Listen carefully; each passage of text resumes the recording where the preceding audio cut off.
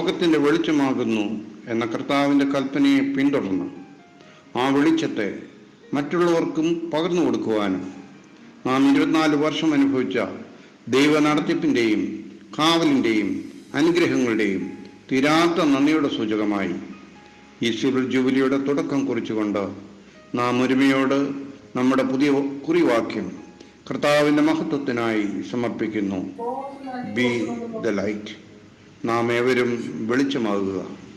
കർത്താവിന്റെ സുശേഷത്താലുള്ള അനുഗ്രഹവും സ്വാതന്ത്ര്യവും സ്വാതന്ത്ര്യവും മറ്റുള്ളവർക്ക് പകർന്നു നൽകുവാൻ ദൈവം നമ്മെ സഹായിക്കുമാറാകട്ടെ.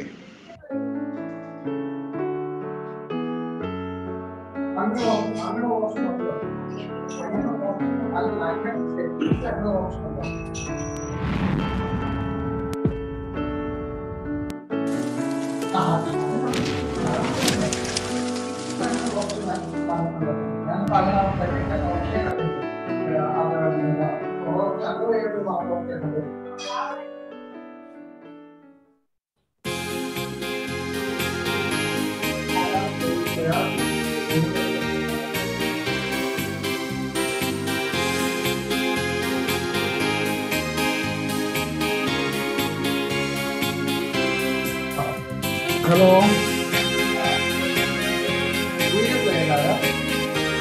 哦。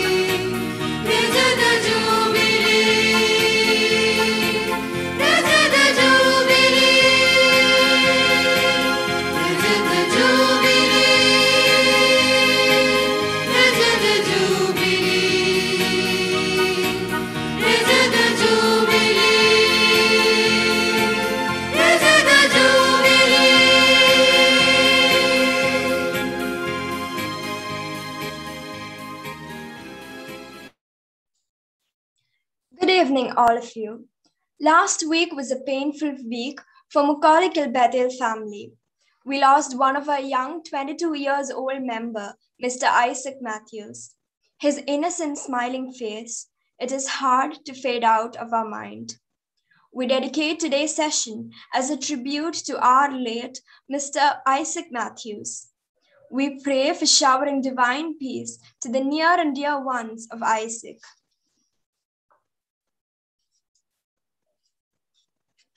Today's lecture is the second one in the series on understanding the faith and practices of the Marthoma Church.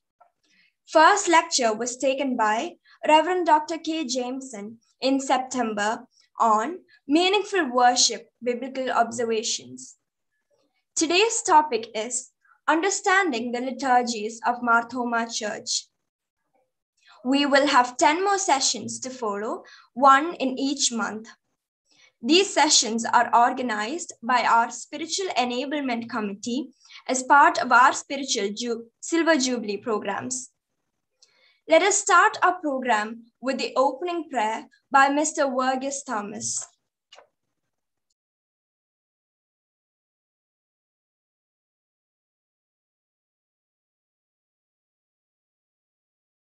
നിങ്ങളെ മ്യൂട്ടാണ് അൺമ്യൂട്ട് ചെയ്യണേ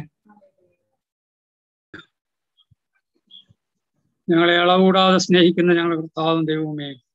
ഈ നല്ല ദിവസം സന്ധ്യയ്ക്ക് കർത്താവെ ഞങ്ങൾ ഹൃദയ ഇടവകയായി എല്ലാ അംഗങ്ങളും കൂടിയിരിക്കുന്ന ഈ ഈ സമയത്തിനായി നന്ദി പറയുന്നു കർത്താവെ. ഞങ്ങളുടെ ആവശ്യങ്ങൾ എന്തെന്ന് ഞങ്ങൾ അറിയുന്നുണ്ടല്ലോ കർത്താവെ. ഞങ്ങളുടെ ജൂബിലി വർഷവുമായി ബന്ധപ്പെട്ട് കർത്താവെ ദൈവമേ ഞങ്ങൾ വിവിധ തരങ്ങളായ കാര്യപരിപാടികൾ നടത്തിക്കൊണ്ട് നടത്തുവാൻ തീരുമാനിച്ച് ഓരോന്നായി നടത്തിക്കൊണ്ടിരിക്കുന്ന കർത്താവെ. അങ്ങയുടെ കൃപയും കരുണയും ഞങ്ങളിൽ ഉണ്ടായിരിക്കണമേ കർത്താവെ. ഇന്ന് ഞങ്ങൾ കൂടിയിരിക്കുന്ന കാര്യത്തിൽ കർത്താവെ ദൈവമേ ഫെയ്ത്ത് ആൻഡ് പ്രാക്ടീസ് എന്ന വിഷയത്തെ സംബന്ധിച്ച് അതിൽ ഉൾപ്പെട്ടിട്ടുള്ള പന്ത്രണ്ട് സീരീസ് ചർച്ചകൾ പ്രഭാഷണങ്ങളാണ് ഞങ്ങൾ അറേഞ്ച് ചെയ്തിരിക്കുന്ന കർത്താവെ. രണ്ടാമത്തെ പ്രഭാഷണം ഇന്ന് നടക്കുവാൻ പോകുന്ന കർത്താവെ. അതിലേക്ക് വേണ്ടി ഞങ്ങൾ ഒത്തുകൂടിയിരിക്കുന്ന കർത്താവെ. ഇവിടെ രണ്ടുപേർ കൂടിയാലും അവിടെ മധ്യത്തിൽ കർത്താവെ അങ്ങ് വരുമെന്ന് വാഗ്ദത്തം ചെയ്തവനായ കർത്താവെ. ഞങ്ങളോടൊപ്പം ആദ്യ അവസാനം വരെ ഉണ്ടായിരിക്കണമേ കർത്താവെ. ഈ പ്രഭാഷണം നടത്തുന്ന കർത്താവെ റവറൻ ഡോക്ടർ ആർ സി തോമസിനെ അങ്ങയുടെ കരങ്ങളിലേക്ക് തരുന്ന കർത്താവെ. കർത്താവെ എല്ലാ കാര്യങ്ങളും ഞങ്ങൾക്ക് മനസ്സിലാകുന്ന രീതിയിൽ അദ്ദേഹം അവതരിപ്പിച്ച് ഞങ്ങൾക്ക് മനസ്സിലാക്കി തരുവാൻ ശ്രമിക്കുന്ന കർത്താവെ. അതിലേക്ക് അങ്ങയുടെ കൃപയും അങ്ങയുടെ അങ്ങ് ഞങ്ങളോടൊപ്പം ഇരുന്ന് കർത്താവെ അതിന്റെ എല്ലാ അർത്ഥതലങ്ങളും മനസ്സിലാക്കി തരുവാൻ ദൈവമേ ഞങ്ങളെ സഹായിക്കണമേ കർത്താവെ. ഈ പ്രോഗ്രാമിന്റെ എല്ലാ മറ്റെല്ലാ ചുമതലകളും നടത്തുന്ന കർത്താവെ ദൈവമേ ജൂലി കൺവീനർ ആയിരിക്കും ജൂലി ഇതിന്റെ പ്രസിഡന്റ് ആയിരിക്കുന്ന ഞങ്ങളുടെ ബഹുമാനപ്പെട്ട കാരി അച്ഛനെയും അതുപോലെ കർത്താവ് ജനറൽ കൺവീനറായ കർത്താവ് ഉമ്മൻ ജോർജിനെയും അതുപോലെ സ്പിരിച്വൽ എൻറിച്ച്മെന്റ് കമ്മിറ്റി കൺവീനറായ ബെറ്റി ദീവ് അങ്ങയുടെ കരങ്ങൾ തരുന്ന കർത്താവ്. അതോടൊപ്പം തന്നെ കർത്താവ് ഈ ആത്മീയ വർധനയ്ക്കായി ഇതിന്റെ പ്രോഗ്രാമിന്റെ എല്ലാം പിന്നാമ്പുറത്ത് പ്രവർത്തിക്കുന്ന ശ്രീ പള്ളിച്ചിറയെയും അങ്ങയുടെ കരങ്ങളിലേക്ക് തരുന്ന കർത്താവ്. ഓരോ കാര്യങ്ങളും കൃത്യമായി നടന്ന കർത്താവ്.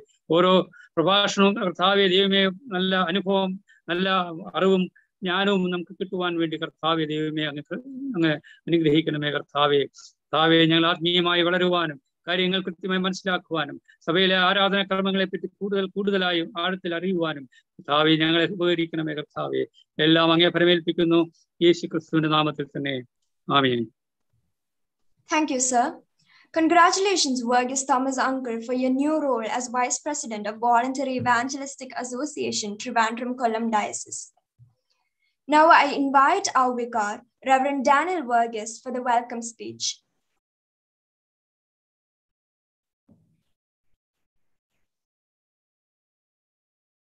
ത്രിയേക ദൈവത്തിന് സ്തുതി. ഏറ്റവും ബഹുമാനായിരിക്കുന്ന ഡോക്ടർ ആർ സി തോമസ് അച്ഛൻ. ഇന്ന് ഈ പ്ലാറ്റ്ഫോമിൽ പങ്കെടുക്കുന്ന മറ്റ് ചില പട്ടക്കാർ. സ്വദേശത്ത് നിന്നും വിദേശത്ത് നിന്നും സൂമിലൂടെയും യൂട്യൂബിലൂടെയും പങ്കെടുക്കുന്ന കർത്താവിൽ ഏറ്റവും പ്രിയമുള്ളവരെ ദൈവനാമത്തിൽ സ്നേഹ വന്ദനം അറിയിക്കട്ടെ.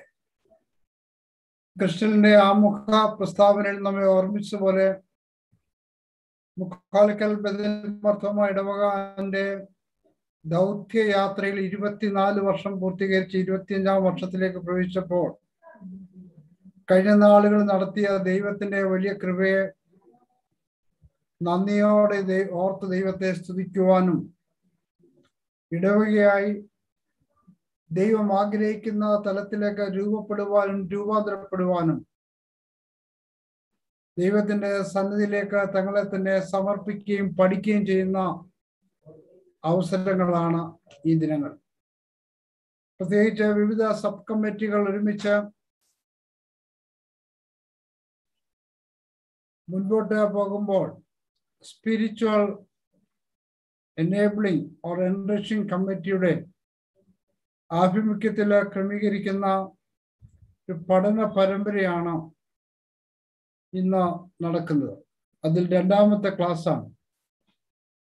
ഞാൻ മർത്തോമക്കാരൻ എന്ന് അഭിമാനിക്കുമ്പോൾ തന്നെ എന്റെ സഭയെ പറ്റിയും എന്റെ സഭയുടെ ആചാര രീതികളെ പറ്റിയും വേണ്ടത്ര അവബോധം നമ്മുടെ ജനങ്ങൾക്ക് ഉണ്ടാകണം എന്നുള്ള ആഗ്രഹത്തിലാണ് ഈ ഒരു പ്രോഗ്രാം ക്രമീകരിച്ചിരിക്കുന്നത്. ഇതിൽ ആദ്യത്തെ ക്ലാസ് ബഹുമാനപ്പെട്ട ഡോക്ടർ ജെയിംസൺ അച്ഛൻ വളരെ ഭംഗിയായി നമുക്ക് ആരാധനയുടെ വിവിധ തലങ്ങളെ പറ്റി പഠിപ്പിച്ചു കഴിഞ്ഞു. ഇന്ന് നമുക്ക് മുഖ്യ ക്ലാസ് എടുക്കുന്നത് ബഹുമാനപ്പെട്ട reverend doctor R C Thomas അച്ഛനാണ് കോവിഡ് കാലഘട്ടത്തിൽ ഏറ്റവും തിരക്കേറിയ ഒരു പൊട്ടക്കാരനായി ആർ സി തോമസ് അച്ഛൻ മാറിക്കഴിഞ്ഞിരിക്കുകയാണ്. കാരണം അനേക വെബിനാറിലൂടെ സഭയുടെ ആരാധനകളുടെയും സഭയുടെ ആചാര രീതികളുടെയും വേദപുസ്തക അടിസ്ഥാനവും പ്രാധാന്യവും സഭാ മക്കളെ പഠിപ്പിക്കുവാൻ തക്കവണ്ണം അതിയായ ഒരു ഉത്സാഹവും താല്പര്യവും സമർപ്പണവും പ്രിയപ്പെട്ട ആർ സി തോമസ് അച്ഛനിൽ കാണുന്നു എന്നുള്ളത് ഞങ്ങളെ പോലെയുള്ള ഇളയ സഹോദരങ്ങൾക്ക് ഏറെ സന്തോഷകരമാണ്. പ്രിയപ്പെട്ട അച്ഛൻ മലങ്കര മർത്തോമാ ശ്രീയാനി സഭയ്ക്ക് ഒരു വരദാനമാണ്. അനേക ഇടവകളിലും സെമിനാരികളിലും വിവിധ സ്ഥാപനങ്ങളിലുമുള്ള അച്ഛന്റെ നേതൃത്വം. സ്വദേശത്തും വിദേശത്തും അച്ഛൻ നടത്തുന്ന ഉപരിപഠനങ്ങൾ അച്ഛന്റെ ചില അന്വേഷണങ്ങൾ കണ്ടെത്തലുകൾ ഇവയെല്ലാം സഭയ്ക്ക് ഏറെ പ്രയോജനകരമായി കൊണ്ടിരിക്കുന്നു. പ്രത്യേകിച്ച് തങ്കാറ എന്ന ഒരു പ്രത്യേകമായ ഒരു പുസ്തകം അത് വായിക്കുന്നവർക്ക് സഭയുടെ അനേക രഹസ്യങ്ങളെ മം- മനസ്സിലാക്കുവാനായിട്ടുള്ള അനുഗ്രഹീതമായ ഒരു പുസ്തകമാണ്. അതുകൊണ്ട് തീർച്ചയായിട്ടും സഭയുടെ ആരാധനാ രീതികളെ വെല്ലുവിളിക്കുന്ന പ്രസ്ഥാനങ്ങൾ ഉയർന്നു വരുന്ന ഈ കാലഘട്ടത്തിൽ നമുക്ക് അതീവ ഗൗരവത്തോടെ ഇത് മനസ്സിലാക്കുവാൻ അച്ഛന്റെ ക്ലാസ് സഹായകരമായി തീരും എന്നതിൽ യാതൊരു സംശയവുമില്ല. An introduction to the liturgies എന്നുള്ള വിഷയത്തെ ആസ്പദമാക്കി. ഇന്ന് അച്ഛൻ കൈ ആ വിഷയം കൈകാര്യം ചെയ്യുമ്പോൾ നമുക്ക് ആ മേഖലയിൽ പുതിയ അറിവ് നൽകട്ടെ എന്ന് ഞാൻ ആഗ്രഹിക്കുകയും പ്രാർത്ഥിക്കുകയും ചെയ്യുന്നു. അച്ഛൻ ഇരുവള്ളിപ്പുറ ക്രിസ്തോസ് ഇടവാംഗമാണ് അച്ഛൻ വടക്കഞ്ചേരി താണിപ്പാടം പീച്ചി അരിയുഴം കണ്ടമ്പേരും നിർമ്മലപുരം ബാംഗ്ലൂർ കോട്ടയം ജെറുസലേം എറികാട് കുമ്പനാട് ഷലീം എന്നീ ഇടവകളിലും കോട്ടയം തിയോളജിക്കൽ സെമിനാരിയുടെ അധ്യാപകനായും ഓറിയന്റേഷൻ സെന്ററിന്റെ ഡയറക്ടറായും വേദപണ്ഡ സഹായിയുടെ മാനേജരായും ഒക്കെയുള്ള അച്ഛന്റെ ശുശ്രൂഷകൾ ഏറെ പ്രസ്താവ്യമാണ്. ഒന്നിലധികം ധാരാളം പുസ്തകങ്ങൾ അച്ഛൻ എഴുതിയിട്ടുണ്ട്. പി എൻ ഒരു പ്രേമഗാനം നവ പെന്തക്കോസ്റ്റ് പ്രസ്ഥാനങ്ങൾ മർത്തോമ പ്രയാണം തങ്കാറ തുടങ്ങിയ അനേകം ഈടുറ്റ ഗ്രന്ഥങ്ങൾ രചിക്കുവാൻ അച്ഛനിടയായി മുക്കാലിക്കൽ ബദൽ മർത്തോമ ഇടവക ഇങ്ങനെ ഒരു സീരീസ് ഓഫ് ക്ലാസ് ക്രമീകരിക്കുന്നതിനെ പറ്റി ആഗ്രഹിച്ചപ്പോൾ ബഹുമാനപ്പെട്ട പോത്തനച്ഛനും ആർ സി തോമസ് നമ്മുടെ ജെയിംസൺ അച്ഛനും കൂടെ ഒരുമിച്ച് ഞങ്ങൾ ഇരുന്നു ഇതിനാവശ്യമായ സബ്ജക്റ്റുകളൊക്കെ തയ്യാറാക്കി ലീഡേഴ്സിനെ കണ്ടെത്തിയപ്പോൾ ഏറ്റവും മുന്നിൽ വന്ന ഒരാളാണ് ആർ സി തോമസ് അച്ഛൻ ബഹുമാനപ്പെട്ട reverend doctor R C Thomas അച്ഛനെ മുക്കോലിക്കൽ ബഥേൽ മർത്തോമ ഇടവകയുടെ ഈ കൂട്ടായ്മയിലേക്ക് ഏറ്റവും ഹാർദവമായി സ്വാഗതം ചെയ്യുന്നു. ദൈവം തമ്പുരാൻ ഈ കാലഘട്ടത്തിൽ അച്ഛനെ ഏറ്റവും ഭംഗിയായി എടുത്ത് ഉപയോഗിക്കുന്നു എന്നതിൽ ഞങ്ങൾ അഭിമാനിക്കുന്നു. തുടർന്നും കർത്താവിന്റെ കരങ്ങളിൽ ഇണങ്ങിയ ആയുധമായി ഈ സഭയെ പറ്റി ദൈവം എന്ത് അതുപോലെ സഭയെ രൂപപ്പെടുത്തുവാൻ ദൈവം അച്ഛനെ ശക്തീകരിക്കട്ടെ എന്ന് പ്രാർത്ഥിക്കുകയും ചെയ്യും. ഇന്ന് ഈ സൂം പ്ലാറ്റ്ഫോമിൽ ഇപ്പോൾ ഏകദേശം അൻപതോളം കുടുംബങ്ങൾ ജോയിൻ ചെയ്തു. സ്വദേശത്ത് നിന്ന് വിദേശത്തു നിന്നുമുള്ള പല ആളുകളുണ്ട്. അച്ഛന്റെ ഫ്രണ്ട്സ് ഉണ്ട്. ചില പട്ടക്കാരുണ്ട്. അതുകൊണ്ട് എല്ലാവരെയും വളരെ സന്തോഷത്തോടെ സ്വാഗതം ചെയ്യുന്നു. ഇന്ന് വളരെ തിരക്കുള്ള ദിവസമായിരുന്നു. ആരാധന കഴിഞ്ഞ നാല് മണി തൊട്ട് യുഹാനൻ മർത്തോമ സ്റ്റഡി സെന്ററിന്റെ മെമ്മോറിയൽ ലെക്ചർ നമ്മുടെ പള്ളിയിൽ വെച്ചാണ് നടന്നത്. അതുകൊണ്ട് തിരക്കുള്ള ദിവസമായിട്ടും ഇത്രയും ആളുകളുടെ പങ്കാളിത്തം ഞാൻ നന്ദിയോടെ ഓർക്കുന്നു. നിങ്ങളെ എല്ലാവരെയും പ്രത്യേകിച്ച് ഇന്ന് പ്രോഗ്രാം കോമ്പയർ ചെയ്യുന്ന ക്രിസ്റ്റലിനെയും സ്വാഗതം ചെയ്യുന്നു. സ്പിരിച്വൽ എൻറിച്ച്മെന്റ് കമ്മിറ്റി വളരെ ഉത്സാഹത്തോടെ വർക്ക് ചെയ്യുന്നതാണ്. അതിന്റെ കൺവീനർ ബെറ്റി തോമസ് കമ്മിറ്റി അംഗങ്ങൾ പ്രത്യേകിച്ച് നമ്മുടെ പ്രിയപ്പെട്ട സിബി അതിന്റെ മുഖ്യ ചുമതലയിലില്ല എങ്കിലും മൊത്തം കാര്യങ്ങൾ ക്രമീകരിക്കുന്ന ഒരാളാണ് സിബി. ഇത്തരത്തിലുള്ള അനേകം റിസോഴ്സ് പേഴ്സൺസ് നമ്മുടെ ഇടവയ്ക്കുണ്ട്. അവരെ എല്ലാവരെയും ഓർത്ത് ഞാൻ ദൈവത്തെ സ്തുതിച്ചുകൊണ്ട് ഒരു പഠനത്തിലേക്ക് നമുക്ക് ഒരുങ്ങാം. ദൈവം നമ്മെ സഹായിക്കട്ടെ. Thank you, Achin. Reverend Dr. R.C. Thomas is a senior priest in our church. He is the former professor at Marthoma Theological Seminary, Kottayam, and at Dharma Jyoti Seminary at Delhi. Achin is a great scholar in the field of church liturgies and has authored several books. The books Tangara and Nava Pentecost Prasthanangal requires special mention. His theological articles published in various journals are thought provoking and informative.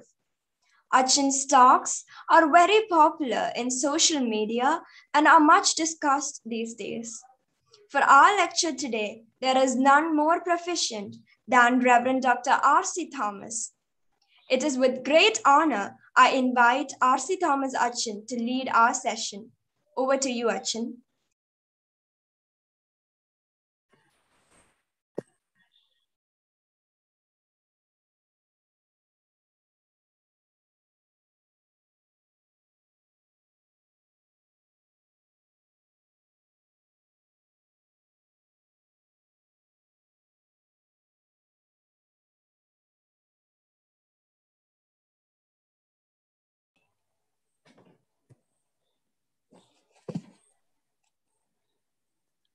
അച്ഛാ കേൾക്കാമോ? കേൾക്കാം അച്ഛൻ കേൾക്കാം. ത്രിയേക ദൈവത്തിന് സ്തുതി. നമ്മുടെ കർത്താവും രക്ഷിതാവുമായ യേശുക്രിസ്തുവിന്റെ ധന്യനാമത്തിൽ എല്ലാവർക്കും സ്നേഹ വന്ദനം എല്ലാവർക്കും വളരെ ഹൃദ്യമായ ഒരു ഗുഡ് ഈവനിങ് ആശംസിക്കുന്നു. ബഹുമാനപ്പെട്ട വികാരി ദാനിയൽ വർഗീസ് അച്ഛൻ സ്പെഷ്യൽ എൻറിച്ച്മെന്റ് പ്രോഗ്രാമിന്റെ convener Mrs Betty Thomas mister Oommen George Shri Siby Pallichira Mukkolakkal Bethel Marthoma ഇടവ അംഗങ്ങളെ വിവിധ സ്ഥലങ്ങളിൽ ഇരുന്നു കൊണ്ട് എന്നെ ശ്രവിക്കുന്ന പ്രിയപ്പെട്ടവരെ എല്ലാവർക്കും ഹൃദ്യമായ വന്ദനം. ഇന്നലെ ഒക്ടോബർ രണ്ടായിരുന്നു ഗാന്ധിജിയുടെ ജന്മദിനം ആഘോഷിച്ച ആഘോഷിക്കുവാൻ ഒരു പക്ഷെങ്കിൽ അദ്ദേഹത്തെ അത്ര അംഗീകരിക്കാത്തവർ പോലും ഇടപെട്ടതായി വാർത്തകളിൽ നാം കാണുന്നു. അങ്ങനെയുള്ള ആ ജീവിതങ്ങൾക്കായി ദൈവത്തെ സ്തുതിക്കാം. ഒക്ടോബർ മൂന്ന് ഇന്ന് ഞായറാഴ്ച മാർത്തമാസഭ സന്നദ്ധ സുവിശേഷ സംഘ ദിനമായി ആചരിക്കുകയും ഇന്നത്തെ നമ്മുടെ ചിന്തകളും നമ്മുടെ ധ്യാനവും ആരാധനയൊക്കെ ആ വിഷയത്തിലേക്ക് കേന്ദ്രീകരിച്ചതും ആയിരുന്നുവല്ലോ. ആ ഇടവക ഇരുപത്തിയഞ്ച് വർഷം പൂർത്തിയാക്കുന്നതിനോട് അനുബന്ധിച്ച് നിങ്ങൾ ക്രമീകരിച്ചിരിക്കുന്ന ഈ സ്പെഷ്യൽ എൻറിച്ച് എൻറിച്ച്മെന്റ് പ്രോഗ്രാം എല്ലാ വിധത്തിലും അനുഗ്രഹകരമായി തീരട്ടെ.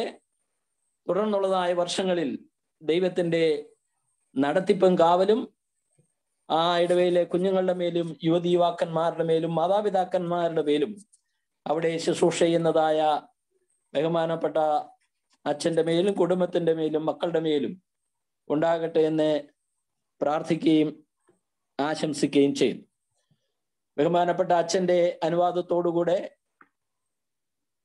ശ്രീ സി വി പള്ളിച്ചെറിയാണ് ഈ പ്രോഗ്രാമിനായിട്ട് എന്നെ ക്ഷണിച്ചത്. ഞങ്ങൾ തമ്മിലായിരുന്നു. ഇത് ഞങ്ങൾ തമ്മിൽ നേരിട്ട് കണ്ടിട്ടില്ല. എന്നാൽ മീഡിയയിൽ കൂടെയുള്ള കമ്മ്യൂണിക്കേഷൻ ആയിരുന്നു. അദ്ദേഹം എല്ലാ സഹായങ്ങളും ചെയ്തു തന്നു. നന്ദി അറിയിക്കുന്നു. ഇന്നത്തെ നമ്മുടെ വെബിന വെബിനാർ അനുഗ്രഹപ്രദമായി തീരട്ടെ എന്ന് പ്രാർത്ഥിക്കുന്നു. നമ്മുടെ ഇന്നത്തെ വിഷയം ഇനിയും മറ്റ് മുഖവരിയൊന്നും കൂടാതെ വിഷയത്തിലേക്ക് പ്രവേശിക്കാം നമ്മുടെ ഇന്നത്തെ വിഷയം മാർത്തോമാ സഭയുടെ ആരാധനാ ക്രമങ്ങളിലേക്കുള്ള ഒരു എത്തിനോട്ടം അല്ലെങ്കിൽ അതിനൊരു മുഖവര എന്നതാണ്. An introduction to the liturgies of the Marthoma church ഈ പ്രഭാഷണത്തെ നാല് ഭാഗങ്ങളായിട്ടാണ് തിരിച്ചിരിക്കുന്നത്. അത് ഞാൻ ഇപ്പോൾ ആവർത്തിക്കുന്നില്ല അത് സമയം പോകുന്നത് കൊണ്ട് ഓരോ ഭാഗം ആകുമ്പോൾ അതനുസരിച്ച് പറഞ്ഞുകൊള്ളാം. ഒന്നാമത്തെ ഭാഗം അല്ലെങ്കിൽ ഒന്നാമത്തെ വിഷയം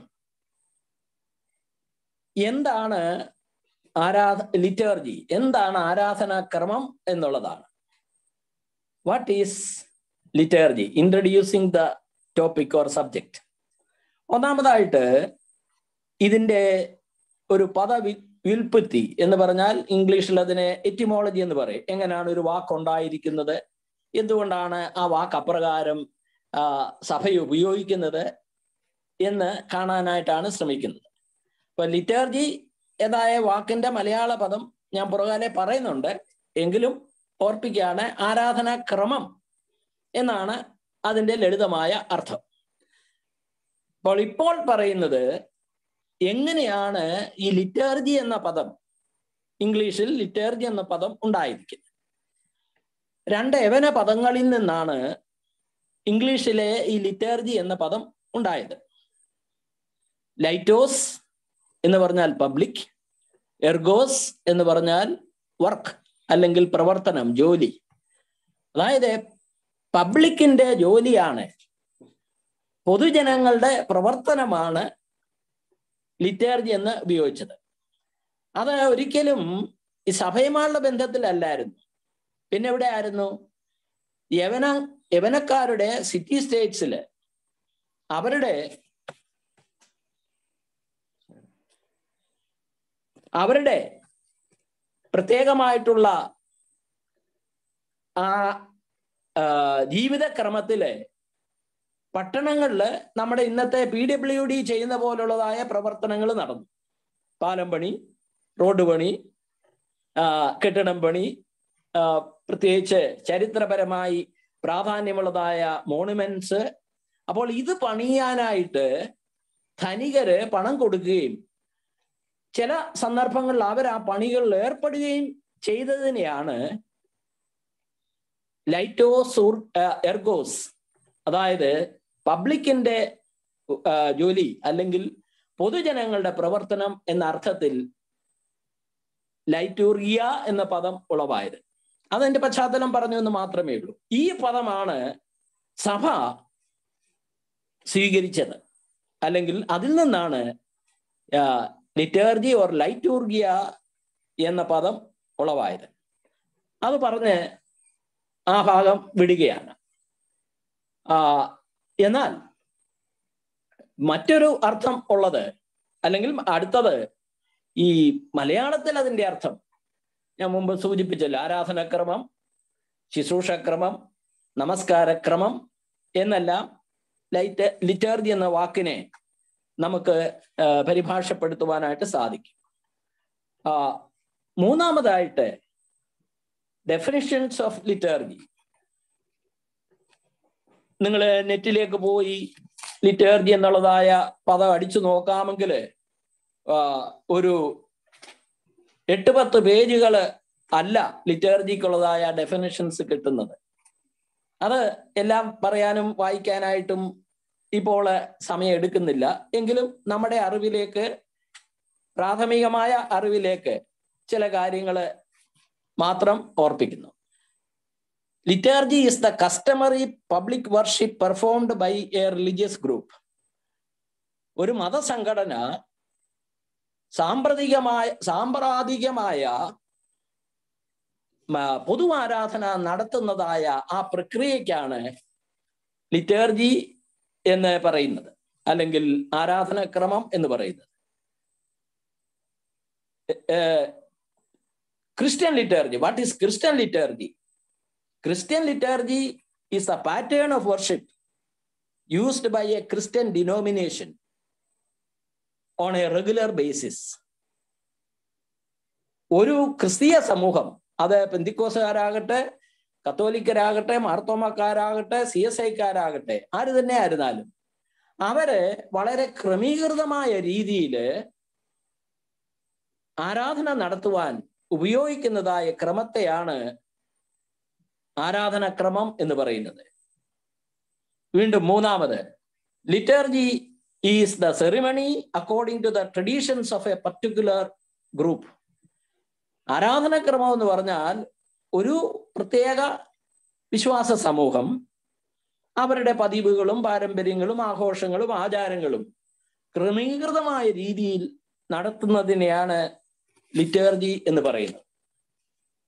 നാലാമത് liturgy is the doxological task of the church ഒരു സഭയുടെ ഏറ്റവും പ്രധാനപ്പെട്ടതായ ചുമതല എന്ന് പറയുന്നത് വിശ്വാസ സമൂഹത്തിന്റെ ചുമതല എന്ന് പറയുന്നത് ദൈവത്തെ സ്തുതിക്കുക എന്നതാണ്.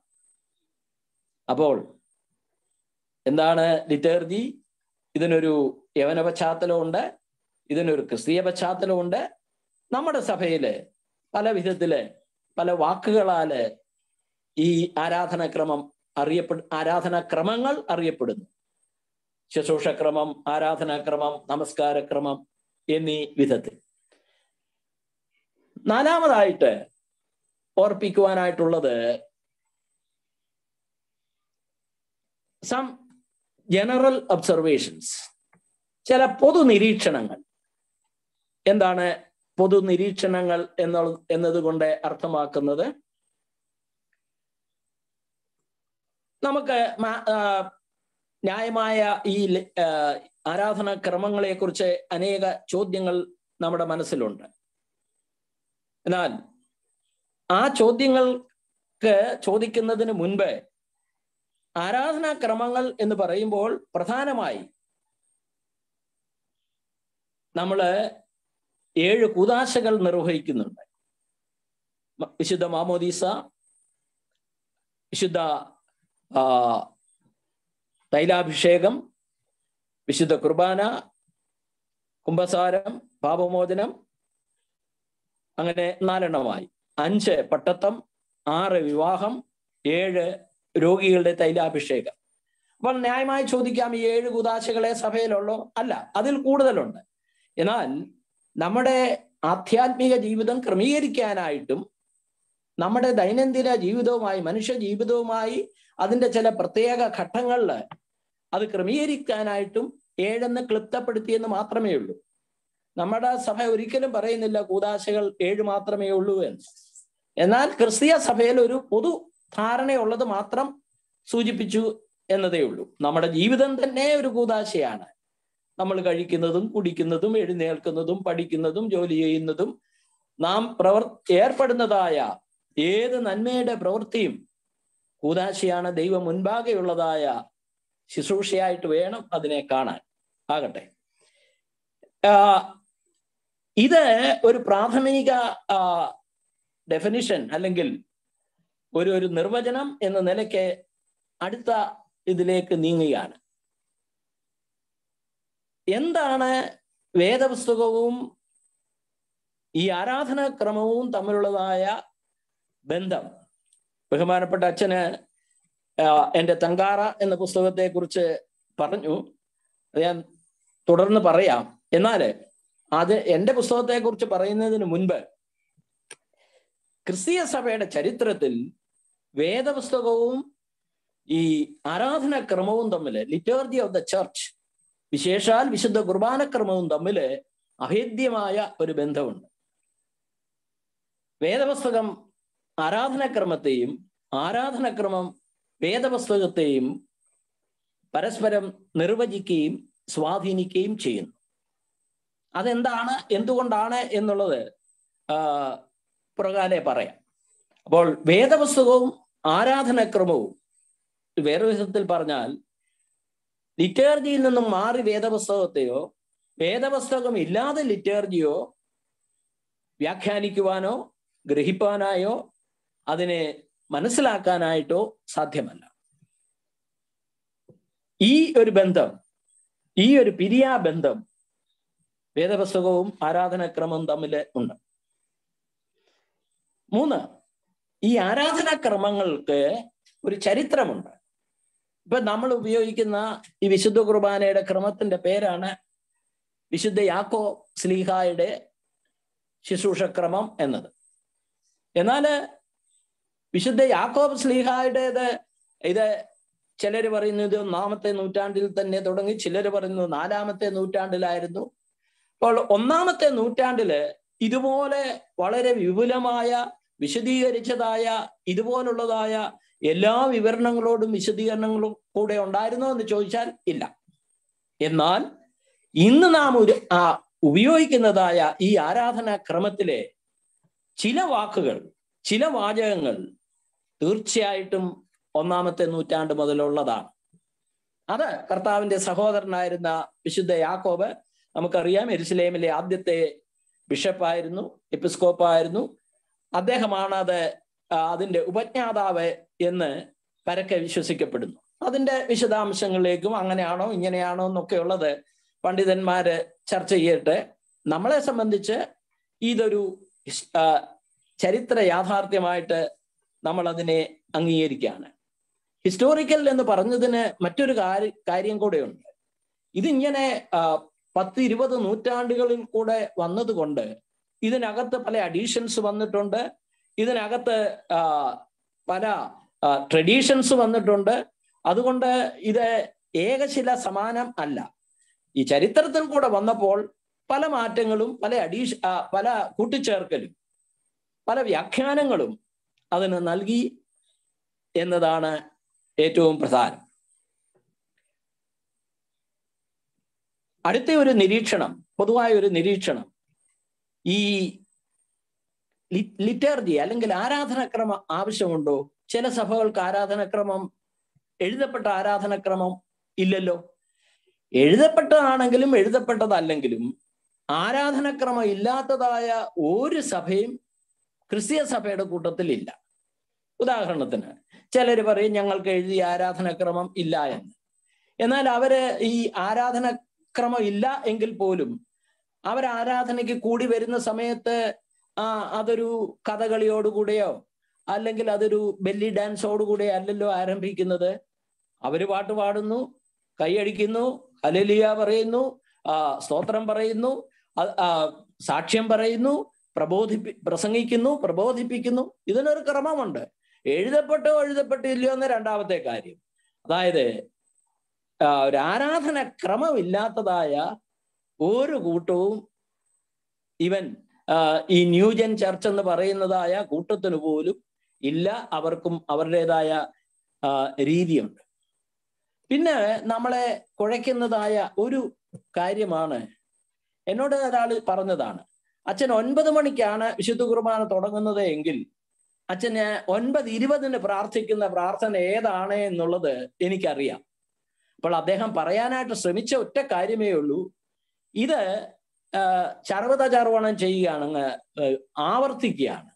അതുകൊണ്ട് ഇതിനകത്ത് യാതൊരു അർത്ഥവും ഇല്ല എന്നാണ് അദ്ദേഹം പറഞ്ഞ് സ്ഥാപിക്കാനായിട്ട് ശ്രമിച്ചത്. അത് ശരിയായിട്ടുള്ള ഒരു നിരീക്ഷണമല്ല. കാരണം എന്താണ്?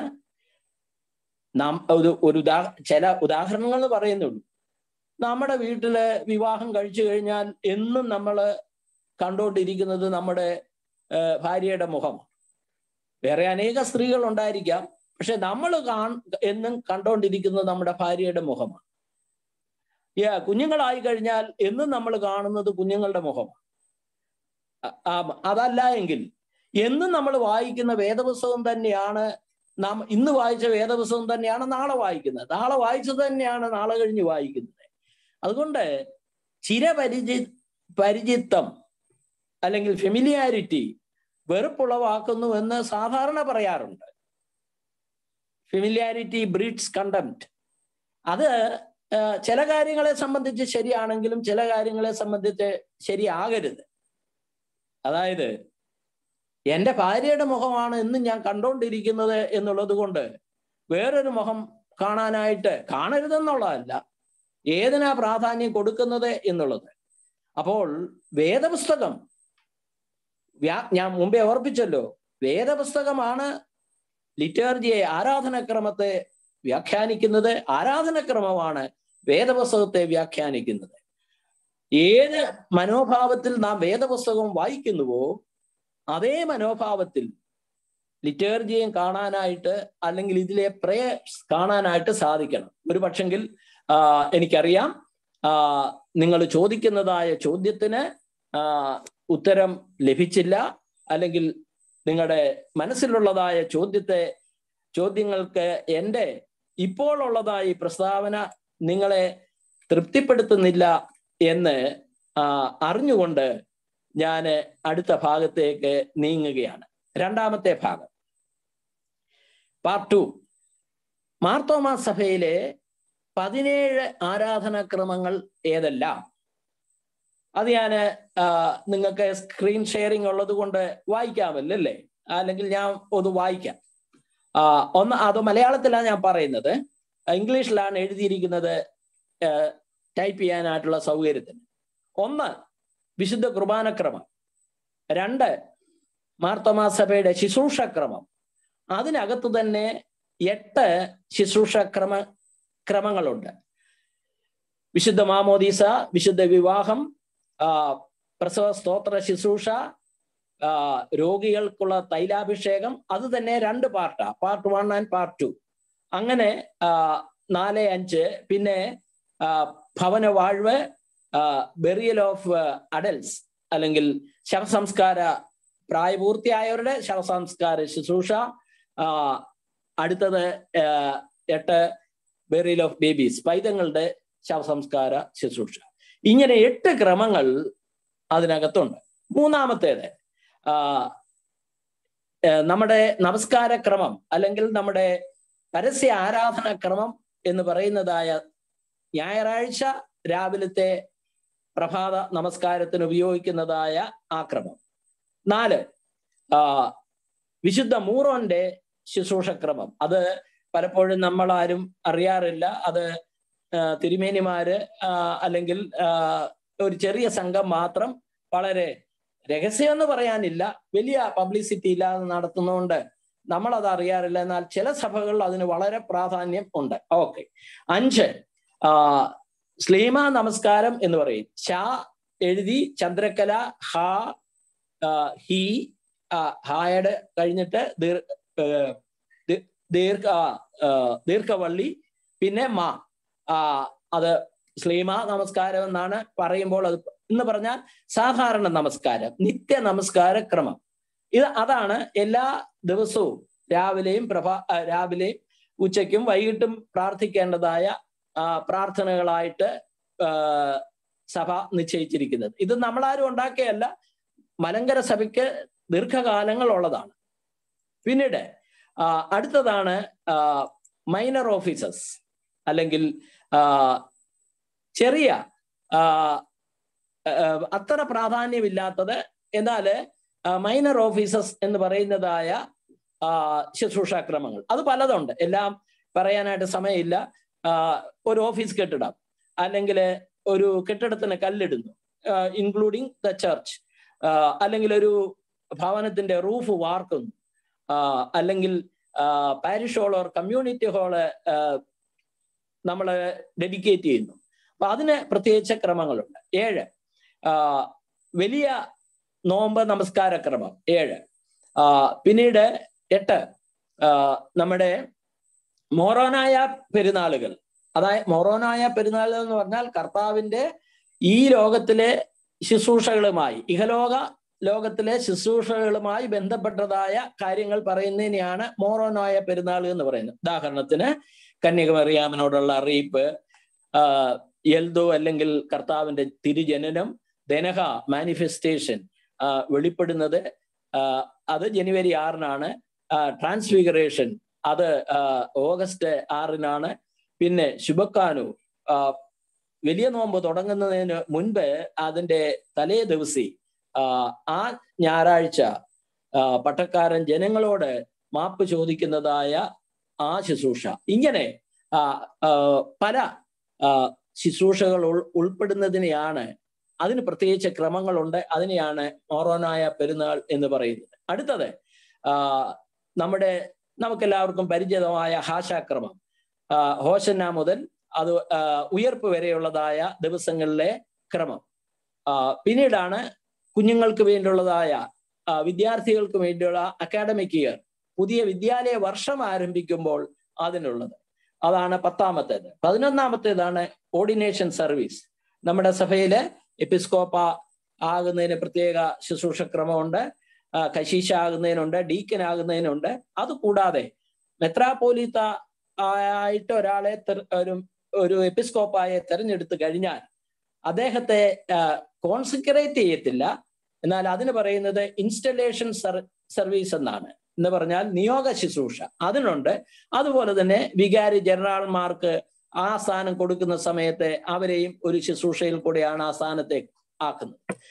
പിന്നെ അത് പതിനൊന്നാമത്തെ ആയിരുന്നു പന്ത്രണ്ടാമത്തേത് പള്ളിക്കൂതാശക്രമം പള്ളി കൂതാശ അത് നമ്മൾ ചിലരെങ്കിലും കണ്ടു കാണും. പള്ളിക്കൂതാശക്രമം കൂതാശ ചെറിയ ഒരു ബുക്കിലെറ്റ് ആണ് പതിമൂന്നാമത്തേത് കഹനോത്തു എന്ന് പറഞ്ഞാൽ പട്ടക്കാരുടെയും മേൽപ്പട്ടക്കാരുടെയും ശവസംസ്കാര ശുശ്രൂഷ. സാധാരണ ജനങ്ങളുടേത് രണ്ട് ഭാഗം മാത്രമേ ഉള്ളൂ. എന്നാൽ പട്ടക്കാരുടെ ശുശ്രൂഷ നമുക്കറിയാം. അല്ലെങ്കിൽ പട്ടക്കാരുടെ ശവസംസ്കാര ശുശ്രൂഷ അല്ലെ മേൽപ്പട്ടക്കാരുടെ നാല് ഭാഗങ്ങളായിട്ടാണ് നടത്തപ്പെടുന്നത്. അതിനെയാണ് കഹനോത്തോ എന്ന് പറയുന്നത്. പിന്നീട് പതിനാലാമത്തേതാണ് ഇടവക ദിനം അല്ലെങ്കിൽ സഭാദിനം അതിനുവേണ്ടി പ്രത്യേക ശുശ്രൂഷക്രമം ഉണ്ട്. പതിനഞ്ചാമത്തേതാണ് ആത്മഹത്യ ചെയ്തവർക്ക് വേണ്ടിയുള്ളതായ പ്രത്യേക ശുശ്രൂഷക്രമം. അത് വളരെ റീസെന്റ് ആയിട്ടാണ് സഭ അത് ഇൻട്രൊഡ്യൂസ് ചെയ്തത്. പതിനാറാമത്തേത് സെദ്ര റോമിയോൻ പ്രാർത്ഥനകളുടെ ഒരു കളക്ഷൻ ആ അതൊരു ബുക്കായിട്ട് പ്രസിദ്ധീകരിച്ചിട്ടുണ്ട്. പിന്നെ പതിനേഴാമത്തേതാണ് പ്രത്യേക ദിവസങ്ങളിൽ യുവജന സഖ്യം സേവിയാ സംഘം അതുപോലെ തന്നെ സന്നദ്ധ സുവിശേഷ സംഘം ഇങ്ങനെയുള്ള പ്രത്യേക ദിനങ്ങൾ സഭ ആചരി ആചരിക്കുമ്പോൾ അല്ലെങ്കിൽ മെഡിക്കൽ സൺഡേ അത് ആചരിക്കുന്നതായ അവസരത്തിൽ അതിനുവേണ്ടി മെത്രാപോലിത്ത തിരുമേനയുടെ അനുവാദത്തോടുകൂടെ ചില ശുശ്രൂഷ ക്രമങ്ങൾ നമ്മൾ പ്രാവർത്തിയമാക്കുന്നുണ്ട് ഉപയോഗിക്കുന്നുണ്ട്. ഇങ്ങനെ പതിനേഴ് ക്രമങ്ങളാണ് നമ്മുടെ സഭയിൽ ഔദ്യോഗികമായിട്ട് ഉള്ളത്. അത് നിങ്ങളുടെ അറിവിലേക്ക് നമ്മുടെ വിഷയവും അതാണല്ലോ പറഞ്ഞു. ഇനി മൂന്നാമത്തെ ഭാഗത്തേക്ക് നീങ്ങുകയാണ്. മൂന്നാമത്തെ ഭാഗത്ത് എന്താണ് ഈ പതിനേഴ് ശുശ്രൂഷാക്രമങ്ങൾ നോക്കാമെങ്കിൽ പതിനേഴല്ല ഓരോന്നോരോന്ന് എണ്ണി നോക്കാമെങ്കിൽ നാൽപ്പത്തി മൂന്ന് ക്രമങ്ങളുണ്ട്. അപ്പോൾ ഈ നാൽപ്പത്തി മൂന്ന് ക്രമങ്ങളും നമുക്കിപ്പോൾ വിശദമായിട്ട് പഠിക്കാനായിട്ടോ അത് വിശകലനം ചെയ്യാനായിട്ടോ സാധ്യമല്ലാത്തത് കൊണ്ട് അതിന്റെ ചില പൊതു സ്വഭാവങ്ങളെ കുറിച്ച് മാത്രം പറയാനായിട്ടാണ് ഈ ഭാഗം ഉപയോഗിക്കുന്നത്. Characteristic features of Marthoma liturgy Marthoma ആരാധനാക്രമങ്ങളുടെ ഈ പത്ത് നാൽപ്പത്തി മൂന്ന് ക്രമങ്ങളുടെ പൊതുവായ സ്വഭാവം എന്താണ്? ഇതിനെ തന്നെ ഞാൻ രണ്ടായിട്ട് വിഭജിച്ചിരിക്കുകയാണ്. ഒന്ന് ഡോക്ട്രൈനൽ വിശ്വാസപരമായ കാര്യങ്ങൾ. രണ്ട് അതും വിശ്വാസമല്ലയോ ചോദിച്ചാൽ വിശ്വാസമാ. എന്നാൽ വിഭജനത്തിന്റെ സൗകര്യത്തിനായിട്ട് നോൺ ഡോക്ട്രൈനൽ എന്ന് തിരിച്ചിട്ടുണ്ട്. എന്ന് പറഞ്ഞാൽ ഡോക്ട്രൈനൽ എന്ന് പറഞ്ഞാൽ അതിന് അതിന്റെ പുറകിലെ ചില വ്യക്തമായ ഡോക്ട്രിൻസ് ഉണ്ട്. അത് പറയാം. ഒന്ന് നമ്മുടെ എല്ലാ ആരാധനാക്രമങ്ങളും യേശുക്രിസ്തുവിലേക്ക് നമ്മെ നയിക്കുന്നതായ ക്രമങ്ങളാണ്. യേശുക്രിസ്തുവിലേക്ക് നയിക്കുന്നു എന്ന് പറഞ്ഞാൽ എന്താണ്? അല്ലെങ്കിൽ യേശുക്രിസ്തുള്ള വിശ്വാസത്തെ അരക്കിട്ട് ഉറപ്പിക്കുന്ന ക്രമങ്ങളാണ്. എന്താണ് അതിന്റെ അർത്ഥം? ഒന്ന് യേശുക്രിസ്തു പൂർണ ദൈവമാണ്. യേശുക്രിസ്തു പൂർണ മനുഷ്യനാണ് എന്ന് പറഞ്ഞാൽ യേശുക്രിസ്തുവാണ് നമ്മെ രക്ഷിച്ചത് എന്നാണ് അതിന്റെ അർത്ഥം. യേശുക്രിസ്തു പൂർണ മനുഷ്യനാണ് എന്ന് പറഞ്ഞാൽ എന്റെയും നിങ്ങളുടെയും നമ്മുടെയൊക്കെ വേദനകൾ പങ്കാളിയാകുന്ന ഒരുവനാണ് യേശു. അതാണ് Jesus Christ is fully God and fully human എന്ന് പറയുന്നതിന്റെ ലളിത അർത്ഥം. പിന്നീട് യേശുക്രിസ്തുവിന്റെ മർത്തീകരണം മാനവീകരണം ഏറ്റവും പ്രധാനമാണ്. യേശുക്രിസ്തു ഒരു മനുഷ്യനായി ഈ ലോകത്തിലേക്ക് വന്ന് അവൻ നമ്മോടുകൂടെ കൂടാരം അടിച്ചു നമ്മുടെ ഇടയിൽ പാർത്തു. അവന്റെ തേജസ് ദൈവത്തിൽ നിന്നുള്ള തേജസ്സായി ഞങ്ങൾ കണ്ടു എന്ന് വിശുദ്ധ യോഹന്നാൻ പറയുന്നത് വെറുതെയല്ല. യേശുക്രിസ്തു മനുഷ്യനായി എന്നുള്ളത് സഭയുടെ ഏറ്റവും പ്രധാനപ്പെട്ട വിശ്വാസങ്ങളിൽ ഒന്നാണ്. ഇത് ക്രിസ്തീയ സഭയല്ലാതെ ഒരു സഭയും ഒരു മതവും പറയുന്നില്ല. ദൈവം മനുഷ്യനായി എന്നത്. അടുത്തത് ക്രോസ് ആൻഡ് റിസറക്ഷൻ.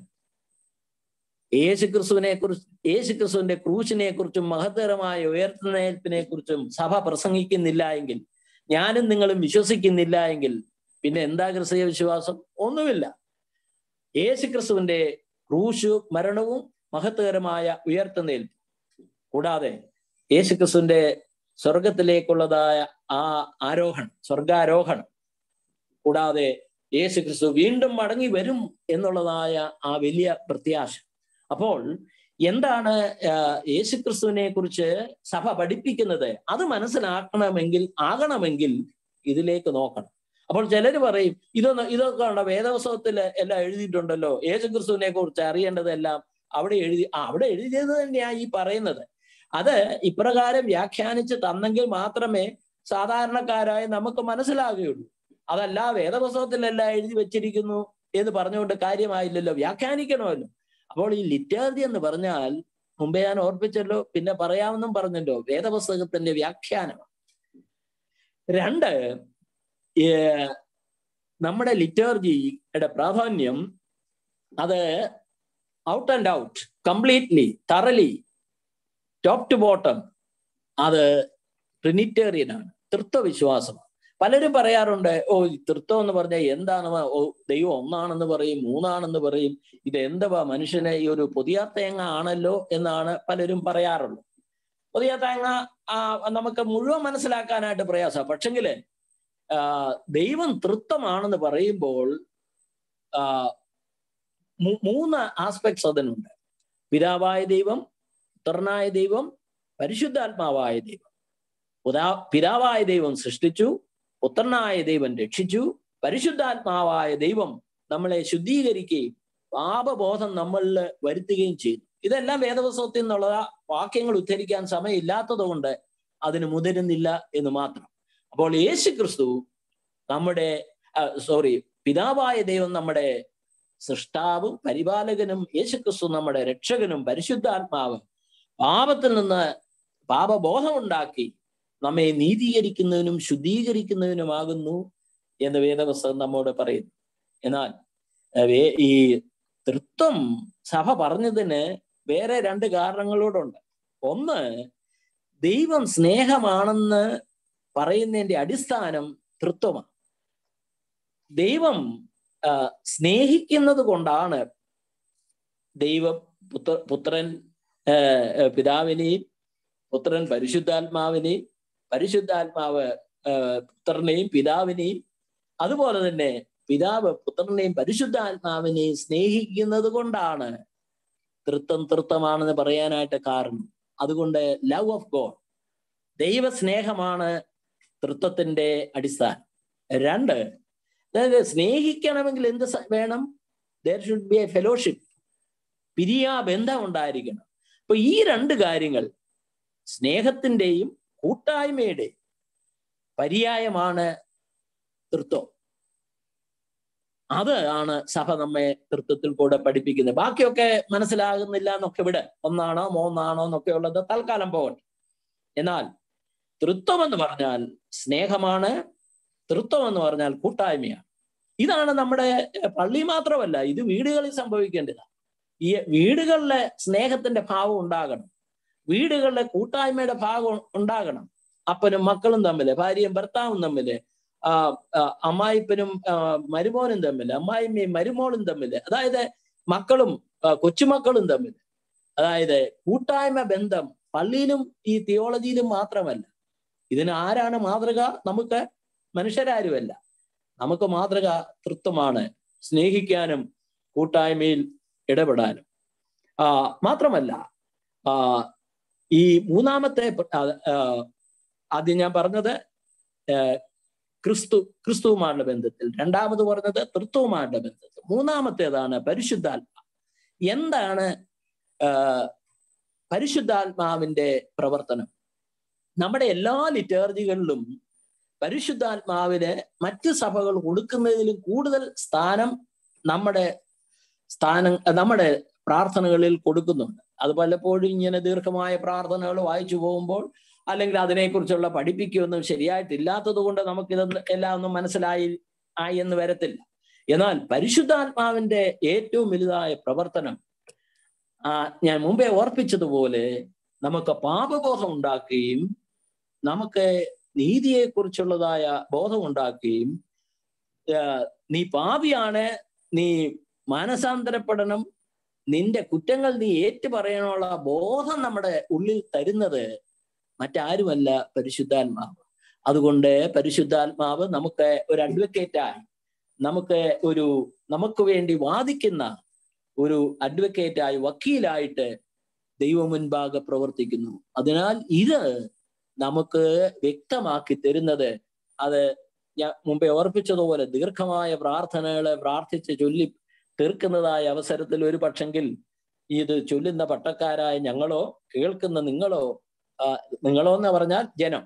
ആ അതൊരു പക്ഷെങ്കിൽ എല്ലാം മനസ്സിലായി എന്ന് വരികയില്ല. എന്നാൽ ഇതുപോലുള്ളതായ ക്ലാസ്സുകളിൽ കൂടെ അല്ലെങ്കിൽ ഇനിയും നിങ്ങൾ കേൾക്കാൻ പോകുന്ന ക്ലാസ്സുകളിൽ കൂടെ മാത്രമേ അത് വ്യക്തമായി തീരുകയുള്ളൂ അടുത്തത് നമ്മുടെ ആരാധനക്രമം നമ്മെ ഓർപ്പിക്കുന്നു.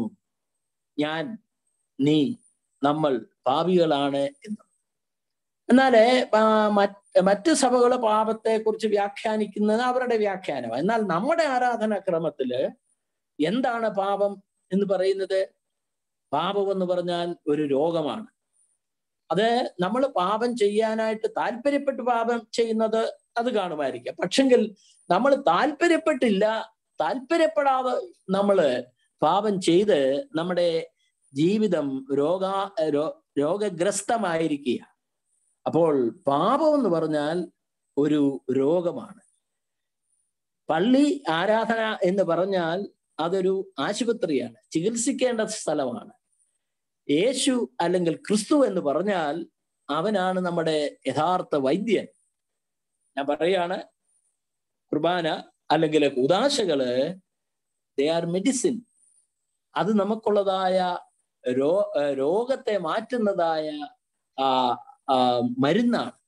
അപ്പോൾ ഈ അപ്പോൾ ഈ കൂതാശകളെ ആണ്ട് മരുന്നാക്കി കൂതാശകളെ ആണ്ട് വെറുതെ കൂട്ടിമാട്ടി എന്നൊക്കെ വ്യാഖ്യാനിക്കാനായിട്ട് സാധിക്കുമെങ്കിലും അല്ലെങ്കിൽ ചിലവരെ അങ്ങനെ മിസ് ഇന്റർപ്രിട്ടേഷൻ നൽകുമായിരിക്കാം. എന്നാൽ ഇതൊരു ആലങ്കാരിക ഭാഷയിൽ പറഞ്ഞു എന്ന് മാത്രമേ ഉള്ളൂ. കൂതാശകൾ നമ്മുടെ അനുദിന ജീവിതത്തിലെ ആവശ്യമായിരിക്കുന്നു. പല പലപ്പോഴും നമ്മൾ ഈ വിവാഹ ശുശ്രൂഷയെ പങ്കെടുക്കുമ്പോൾ അതിന്റെ ആഘോഷത്തിലും തിമിർപ്പിലും ഒക്കെയാണ് നമ്മൾ അല്ലെങ്കിൽ മാമോദീസായി പങ്കെടുക്കുമ്പോൾ കൊച്ചിന്റെ ഡ്രസ്സും അതിന്റെ മേൽ ധരിപ്പിക്കുന്നതായ സ്വർണവും ആ മനോഹരമായ വസ്ത്രമൊക്കെ ആയിരിക്കാം നമ്മുടെ ശ്രദ്ധാകേന്ദ്രം. അല്ലെങ്കിൽ അതിനെ തുടർന്നുള്ളതായ സദ്യ ആയിരിക്കും അപ്പോൾ യഥാർത്ഥത്തിൽ നമുക്ക് അതിന്റെ അർത്ഥങ്ങളൊന്നും പിടികിട്ടാതെ പോകുന്നു എന്നുള്ളത് പ്രായോഗിക ജീവിതത്തിൽ അത് ശരിയാണ്. പക്ഷെങ്കിൽ സഹ എന്താണ് ഉദ്ദേശിക്കുന്നത് ചോദിച്ചാൽ അത് മനസ്സിലാകണമെങ്കിൽ തീർച്ചയായിട്ടും ഈ ലിറ്റേർജി അല്പം ശാന്തമായിട്ടും അത് ശ്രദ്ധിച്ചും എങ്കിൽ മാത്രമേ സാധ്യമായി തീരുകൂ അടുത്തതാണ് നമ്മുടെ ആരാധനയുടെ ഏറ്റവും വലുതായ പ്രത്യേകത ആരാധന ക്രമത്തിന്റെ ഏറ്റവും വലുതായ പ്രത്യേകത ഈ വേദപുസ്തകവും വേദപുസ്തകവും അതുപോലെ തന്നെ ലിറ്റേർജിയും തമ്മിലുള്ളതായ ബന്ധമാണ്. എന്റെ കയ്യിലിരിക്കുന്ന ഇപ്പൊ ഇത് ഈ മിറർ ഇമേജിൽ ഒരു പക്ഷെങ്കിൽ നിങ്ങൾക്ക് അത് വായിക്കാൻ ഒക്കത്തില്ലായിരിക്കാം എന്നാൽ തങ്കാറ എന്നതായ പുസ്തകമാണ്. അതിൽ വായി എഴുതിയിരിക്കുന്നത് തന്നെ അതിന്റെ ടൈറ്റിൽ തക്സായും വേദപുസ്തകവും മാർ യാക്കോബിന്റെ തക്സ ഒരു സ്വതന്ത്ര പഠനം എന്നതാണ്. ഇത് ഞാൻ എഴുതാനായിട്ടുള്ള പ്രധാനപ്പെട്ട കാരണം എന്റെ വൈദിക വൃത്തിയിൽ എന്റെ ഇടവക ജീവിതത്തിൽ എന്റെ ഇടവക ജനങ്ങൾ ഞാനിപ്പോൾ എഴുപത്തഞ്ചിൽ പട്ടമേറ്റ ആളാ. ഞാൻ എഴുപത്തി ആറിൽ എന്നോടൊരു വ്യക്തി ചോദിച്ചതാണ്. വടക്ക് എന്നോട് വ്യക്തി ചോദിച്ചതാണ് ഈ വേദപുസ്തകം ഞങ്ങൾക്ക് വേദപുസ്തകം വായിക്കാൻ ഇഷ്ടമാണ്. ഞങ്ങൾക്ക് ഈ ലിറ്റേർജി എന്ന് പറയുന്നത് ഒരു വക മനസ്സിലാകുന്നില്ലെന്ന് മാത്രമല്ല അതെപ്പോഴും ഇങ്ങനെ ചൊല്ലി ചൊല്ലി ചൊല്ലി തീർത്തുകൊണ്ടിരിക്കുകയാണ് ഒന്നും എത്തുമില്ല പിടിയുമില്ല എന്ന് പറഞ്ഞു. അപ്പൊ അന്ന് എനിക്ക് എനിക്കും വലിയ ഗ്രാഹ്യമില്ലായിരുന്നു എന്നുള്ളതാണ് സത്യം. പക്ഷെങ്കിൽ അത് കഴിഞ്ഞ് എന്റെ പട്ടത്ത ശുശ്രൂഷയിൽ എന്നും ഇതൊരു ചോദ്യമായിട്ട് നിലനിന്നു. അപ്പോൾ അതിനുള്ള ഉത്തരമായിട്ടാണ് ഞാൻ ഈ പുസ്തകം എഴുതിയത്. ഞാൻ ഈ പുസ്തകം കാണിച്ചപ്പോൾ നിങ്ങൾ ഓർക്കും ഇനി ഈ പുസ്തകത്തിന്റെ വിൽപ്പനയ്ക്കായിട്ടാകുന്നത്. അതിനു വേണ്ടിയൊന്നുമല്ല. കാരണം ഇനി ഈ പുസ്തകത്തിന്റെ കോപ്പികളൊന്നും ബാക്കി. അത് പോകട്ടെ. അപ്പോൾ ഈ പുസ്തകത്തിൽ കൂടെ നമ്മുടെ യാക്കോബിന്റെ തക്സ വിശു യാക്കോബിന്റെ തക്സായുടെ ഒന്നാമത്തെ പുറം മുതൽ നാൽപ്പത്തി അഞ്ചാമത്തെ പുറത്ത് വരെയുള്ള ഓരോ വാക്കും അതിലെ ഗീതങ്ങളും പ്രാർത്ഥനകളുടെ ഓരോ വാക്കുകളും എടുത്ത് ഈ പുസ്തകത്തിൽ പ്രൂവ് ചെയ്തിരിക്കുന്നത് എങ്ങനെയാണ് നമ്മുടെ ലിറ്റേർജിക്കൽ പ്രാർത്ഥനകളും ആരാധനാക്രമത്തിലെ പ്രാർത്ഥനകളും വേദപുസ്തക വാക്യവും തമ്മിലുള്ള ബന്ധത്തെക്കുറിച്ചാണ് മറ്റൊരു വിധത്തിൽ ചുരുക്കി ലളിതമായിട്ട് പറഞ്ഞാൽ വേദപുസ്തകത്തിന്റെ പരാവർത്തനമാണ് നമ്മുടെ ലിറ്റേർജി അല്ലെങ്കിൽ നമ്മുടെ ആരാധനാക്രമങ്ങൾ. അതുകൊണ്ട് ആരാധനാക്രമങ്ങൾ മനസ്സിലാകുന്നില്ല എന്ന് പറഞ്ഞാൽ അതിന്റെ അർത്ഥം വേദപുസ്തകം മനസ്സിലായിട്ടില്ല വേദപുസ്തകം വായിച്ചിട്ടില്ല അല്ലെങ്കിൽ യഥാർത്ഥ വിധത്തിൽ വായിച്ചിട്ടില്ല അതിനെ ഗ്രഹിച്ചിട്ടില്ല എന്നാണ് അതിന്റെ അർത്ഥം. സമയം പോകുന്നത് കൊണ്ട് ഞാൻ ആ ആ ഏരിയയിൽ നിന്ന് അടുത്ത ഏരിയയിലേക്ക് പോവുകയാണ്. ഒറ്റ കാര്യമാണ് പറയാനാ ഈ കാര്യത്തിൽ കൂടെ പറയാനായിട്ട് ശ്രമിച്ചത്. വേദപുസ്തകവും ആ ഈ നമ്മുടെ ആരാധന ക്രമങ്ങളും തമ്മിൽ അഭേദ്യമായ ബന്ധമുണ്ട്. ഞാൻ ആരാധനാക്രമം ഈ യാക്കോബിന്റെ ദക്ഷ മാത്രമേ എടുത്തുള്ളൂ. ഇനിയും എനിക്ക് ആ, ബാക്കിയുള്ള ആരാധന ക്രമത്തെ കുറിച്ച് എഴുതാനായിട്ടുള്ള ഒരു ബാല്യവും അല്ലെങ്കിൽ ഒരു യുവപ്രായവും ഇല്ലാത്തത് കൊണ്ട് അത് സഭയിലെ മറ്റു വൈദികരാരെങ്കിലും ചെറുപ്പക്കാരും കുറച്ചുകൂടെ സമർത്ഥരുമായ ആരെങ്കിലും അത് തിരഞ്ഞെടുക്കും അല്ലെങ്കിൽ അവരെ അതിനുവേണ്ടി ഉദ്യമിക്കും എന്നുള്ളതായ പ്രാർത്ഥനയോടുകൂടെ ഞാൻ ആ ഭാഗം വിടുകയാണ്. അപ്പോൾ ഇതുവരെ ഞാൻ പറയാനായിട്ട് ആ, ഇനി ഡോക്ടറൈനായിട്ടുള്ള കാര്യം രണ്ട് മൂന്നൂടെ ഓർപ്പിക്കുകയാണ്. അടുത്തത് നമ്മുടെ ആരാധനാ ക്രമത്തിൽ ആരാധനാ ക്രമങ്ങളിൽ എപ്പോഴും ദൗത്യത്തെ കുറിച്ചുള്ളതായ ഒരു ഉത്ബോധം നമുക്ക് നൽകുന്നുണ്ട്. എന്ന് പറഞ്ഞാൽ എന്താണ്? അതായത് ഒരു സഭാംഗം വിശ്വാസി അവന്റെ ഉള്ളിലേക്കും അവന്റെ പള്ളിക്കാര്യങ്ങളിലേക്കും മാത്രമല്ല ഈ വിശാലമായ ലോകത്തിലേക്ക് നോക്കണം. ഈ വിശാലമായ ലോകത്തെ കാണണം. നീ ആരാധനയ്ക്ക് വരുന്നതായുള്ള അവസരത്തിൽ ഈ ആരാധനയിൽ തൃപ്തിപ്പെടാനായിട്ട് മാത്രമല്ല ഞാൻ ഒടുവിൽ പറയുന്നുണ്ട് ലിറ്റേർജി ആഫ്റ്റർ ലിറ്റേർജി ഈ പള്ളിക്ക് ഉള്ള നാല് ഭിത്തികൾക്കുള്ളിൽ നിന്ന് നീ കർത്താവിന്റെ സാക്ഷിയായി തീരണം. ആ ഒരു വലിയ ദർശനം നമ്മുടെ ആരാധന ക്രമം നമുക്ക് നൽകുന്നു. അടുത്തത് വേദപുസ്തകത്തിൽ തന്നെ പഴയ നിയമവും പുതിയ നിയമവും ഉണ്ട്. പഴയ നിയമവും പുതിയ നിയമവും തമ്മിൽ ഇഴപിരിയാത്തതായ ഒരു ബന്ധമുണ്ട്. ആ ബന്ധത്തെ നമുക്ക് എഴുതി തള്ളാനായിട്ട് സാധ്യമല്ല. ഈ അടുത്ത സമയത്ത് അല്ലെങ്കിൽ അടുത്ത കാലങ്ങളിൽ മറ്റു ചില സഭക്കാരും ചില ഉന്നതന്മാരും പറഞ്ഞ് കേട്ടിട്ടുണ്ട്. വലിയ പണ്ഡിതന്മാരും പറഞ്ഞ് കേട്ടിട്ടുണ്ട്. എന്തിനാ പഴയ നിയമം? പഴയ നിയമം യേശുക്രിസ്തു വരുന്നതിന് മുമ്പുള്ളതല്ലയോ അതൊക്കെ അർത്ഥവത്ത് അർത്ഥരഹിതമല്ലയോ? അതൊക്കെ തള്ളിക്കളയണ്ട. അപ്പോഴ് അതിന്റെ അർത്ഥം ഇതാണ്. അതായത് എന്നെ നിർവചിക്കണമെങ്കിൽ അത് ഞാൻ മാത്രം മതി. എന്റെ അപ്പനെ ആവശ്യമില്ല വല്യപ്പനെ ആവശ്യമില്ല എന്ന് പറയുന്നതിന് തുല്യമാണ് അതായത് നമ്മൾ പഴയ നിയമത്തെ ഫോളോ ചെയ്യുന്നവരല്ല. എന്നാൽ പഴയ നിയമത്തിന്റെ ചില പാറ്റേൺസ് നമ്മൾ ഫോളോ ചെയ്യുന്നവരാണ് ഉദാഹരണത്തിന് ഈ കുർബാന ക്രമം അല്ലെ മാമോദീസ എന്ന് പറയുന്നതായ ഈ ക്രമങ്ങൾ ആര് എവിടെ നിന്ന് നമുക്ക് ലഭിച്ചു? ഇത് നമുക്ക് ലഭിച്ചത് പഴയ നിയമ ഇസ്രയേലിൽ നിന്നാണ് പക്ഷെങ്കിൽ അവർ കൊടുത്ത അർത്ഥമല്ല നമ്മൾ ഇതിന് കൊടുക്കുന്നത്. വ്യാഖ്യാനം. അതായത് ഈ ഫ്രെയിം വർക്ക് യഹൂദ ഫ്രെയിം വർക്ക് ആണെങ്കിലും അതിന് അകത്തേക്ക് കൊടുത്തിരിക്കുന്ന കണ്ടന്റ് അർത്ഥം യേശു ക്രിസ്തുവിൽ കൂടെ ഉള്ളതാണ് അതുകൊണ്ട് ഈ കണ്ടന്റ് എന്താണെന്ന് കാണണം. അല്ലാതെ പഴയ നിയമത്തിന്റെ ഫ്രെയിം തല്ലി പൊളിക്കാനായിട്ട് നമ്മൾ ശ്രമിക്കരുത്. അത് അത് തല്ലിപ്പൊളിച്ചാൽ ആകപ്പാടെ എല്ലാം തകരും. അതുകൊണ്ട് ഫ്രെയിം ആവശ്യമാണ് അത് പഴയ നിയമത്തിന്റെ ഫ്രെയിമാണ് എന്നാൽ അർത്ഥം പുതിയ നിയമത്തിന്റെയാണ്. ചുരുക്കത്തിൽ പറഞ്ഞാൽ പഴയ നിയമവും പുതിയ നിയമവും തമ്മിൽ അഭേദ്യമായ ഒരു ബന്ധമുണ്ട്. അടുത്തത് നമ്മുടെ ലിറ്റർജികളെല്ലാം ഒരു കണ്ടിന്യൂറ്റി ഓഫ് ഫെയ്ത്തിനെ സൂചിപ്പിക്കുന്ന എന്ന് പറഞ്ഞാൽ നമ്മുടെ വിശ്വാസം എന്റെ വിശ്വാസം എന്ന് പറഞ്ഞാൽ ഞാൻ കണ്ടുപിടിച്ചതല്ല. എന്റെ വിശ്വാസം എന്ന് പറഞ്ഞാൽ എന്റെ അപ്പൻ മാത്രം വിശ്വസ അമ്മയും മാത്രം വിശ്വസിച്ചല്ല അതിനു മുമ്പ് ഒരു തലമുറ ഉണ്ടായിരുന്നു അതിന്റെ പിൻപിൽ ഒരു തലമുറ ഉണ്ടായിരുന്നു അങ്ങനെ അത് ഒന്നാമത്തെ നൂറ്റാണ്ടിൽ വരെ ചെല്ലും. എന്ന് പറഞ്ഞാൽ ഒരു മാലയിലെ മുത്തുകൾ കോർത്തിരിക്കുന്നത് പോലെ ക്രിസ്തീയ സഭയ്ക്ക് വിശ്വാസത്തിന്റെ ഒരു കണ്ടിന്യൂറ്റി ഉണ്ട്. നമ്മളായിട്ട് യേശുക്രിസ്തുവിനെ കുറിച്ച് നീ കൂടുതൽ വ്യാഖ്യാനിക്കാം. കൂടുതൽ കണ്ടുപിടിക്കാനായിട്ട് ഒന്നും തന്നെ ഇല്ല. അത് നമുക്ക് ഓൾറെഡി ഡിസൈഡ് ചെയ്തിട്ടുണ്ട്. എന്നാൽ കാലോചിതമായി ഓരോ കാലത്തിനും ഓരോ സാഹചര്യത്തിനും അനുസരി അനുസരിച്ച് വ്യാഖ്യാനങ്ങൾ മാറും. എന്നാൽ ബേസിക്കായി അടിസ്ഥാനപരമായി മാറാത്ത ചില കാര്യങ്ങൾ യേശുക്രിസ്തുവിനെ കുറിച്ചുണ്ട് അത് എനിക്കോ നിങ്ങൾക്കോ മാറ്റാൻ ഇഷ്ടമില്ലായിരിക്കാം. നമുക്കതൊന്നും സ്വീകാര്യമല്ലായിരിക്കാം. ഉദാഹരണത്തിന് യേശുക്രിസ്തു പൂർണ ദൈവ പൂർണ ദൈവവും പൂർണ മനുഷ്യനുമാണ്. യേശുക്രിസ്തു മനുഷ്യനായി തീർന്നു. യേശുക്രിസ്തു രക്ഷകനാണ്. ഈ കാര്യത്തെ നമുക്ക് പല വിധത്തിൽ വ്യാഖ്യാനിക്കാം. പക്ഷെങ്കിൽ വളയമില്ലാതെ ചാടാനൊക്കത്തില്ല ഈ വളയത്തിൽ കൂടെ മാത്രമേ ഉള്ള ചാട്ടം സാധ്യമായി തീരുകയുള്ളൂ അതുകൊണ്ട് there is a continuity of faith അടുത്തത് നമ്മുടെ ഈ ആരാധനക്രമം ക്രമം വളരെ ചരിത്രപരവും ആ വേ ആ ചരിത്രപരമായ ഈ കാര്യത്തിൽ നമ്മളൊക്കെ ഇഷ്ടമുള്ളവരെ മാത്രമല്ല ഇഷ്ടമില്ലാത്തവരുടെ പേരൂടെ പറയുന്നു. ഉദാഹരണത്തിന് കന്യക പറയാം. ചിലർക്ക് ഇഷ്ടമുണ്ട് ചിലർക്ക് ഇഷ്ടമില്ല. ആ ഏതായാലും കന്യാമറിയാമിനെ കുറിച്ച് നമ്മുടെ ആരാധനക്രമത്തിൽ കുറഞ്ഞ അതായത് ഈ കുർബാനക്രമത്തിൽ രഹസ്യവും പരസ്യവുമായിട്ട് ഒൻപത് പ്രാവശ്യമെങ്കിലും പറയുന്നുണ്ട്. ഞാൻ കന്യകമറിയാമിനെ അല്ല ഉദ്ദേശിച്ചത്. അല്ലെങ്കിൽ സ്നാപക യോഹന്നാൻ ജോൺ ദ ബാപ്റ്റിസ്റ്റ് ആ ഇവ രണ്ടുപേരെ കുറിച്ച് മാത്രമല്ല. എന്നാൽ യേശു ക്രിസ്തുവിനെ ക്രൂശിക്കാനായിട്ട് കാരണമായി തീർന്ന ഒരു പുള്ളിയായിരുന്നല്ലോ പന്തിയാസ് പീലാത്തോസ്.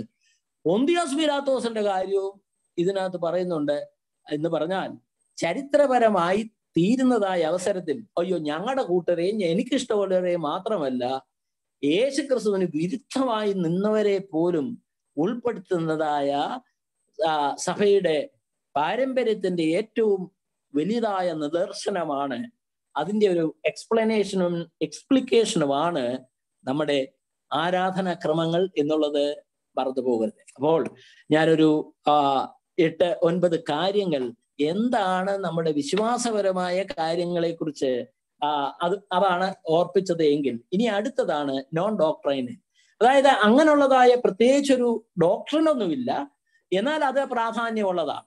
അത് അതിന് അതുകൊണ്ടാണ് അതിനെ നോൺ ഡോക്ട്രൈനൽ എന്ന് വിളിക്കുന്നത്. അത് നമുക്ക് മാറ്റുകയോ മാറ്റാതിരിക്കുകയോ അതൊക്കെ ചെയ്യാം. ഉദാഹരണത്തിന് നമ്മുടെ ആരാധനാക്രമത്തിന്റെ രീതി എന്താ? അതിനെ നമ്മൾ പറയുന്നത് ഇംഗ്ലീഷിൽ പറയും ചാൻഡിങ് മലയാളത്തിൽ പറയും ചൊല്ലുക. നമ്മൾ വിശുദ്ധ കുർബാന ചൊല്ലുകയാണ്.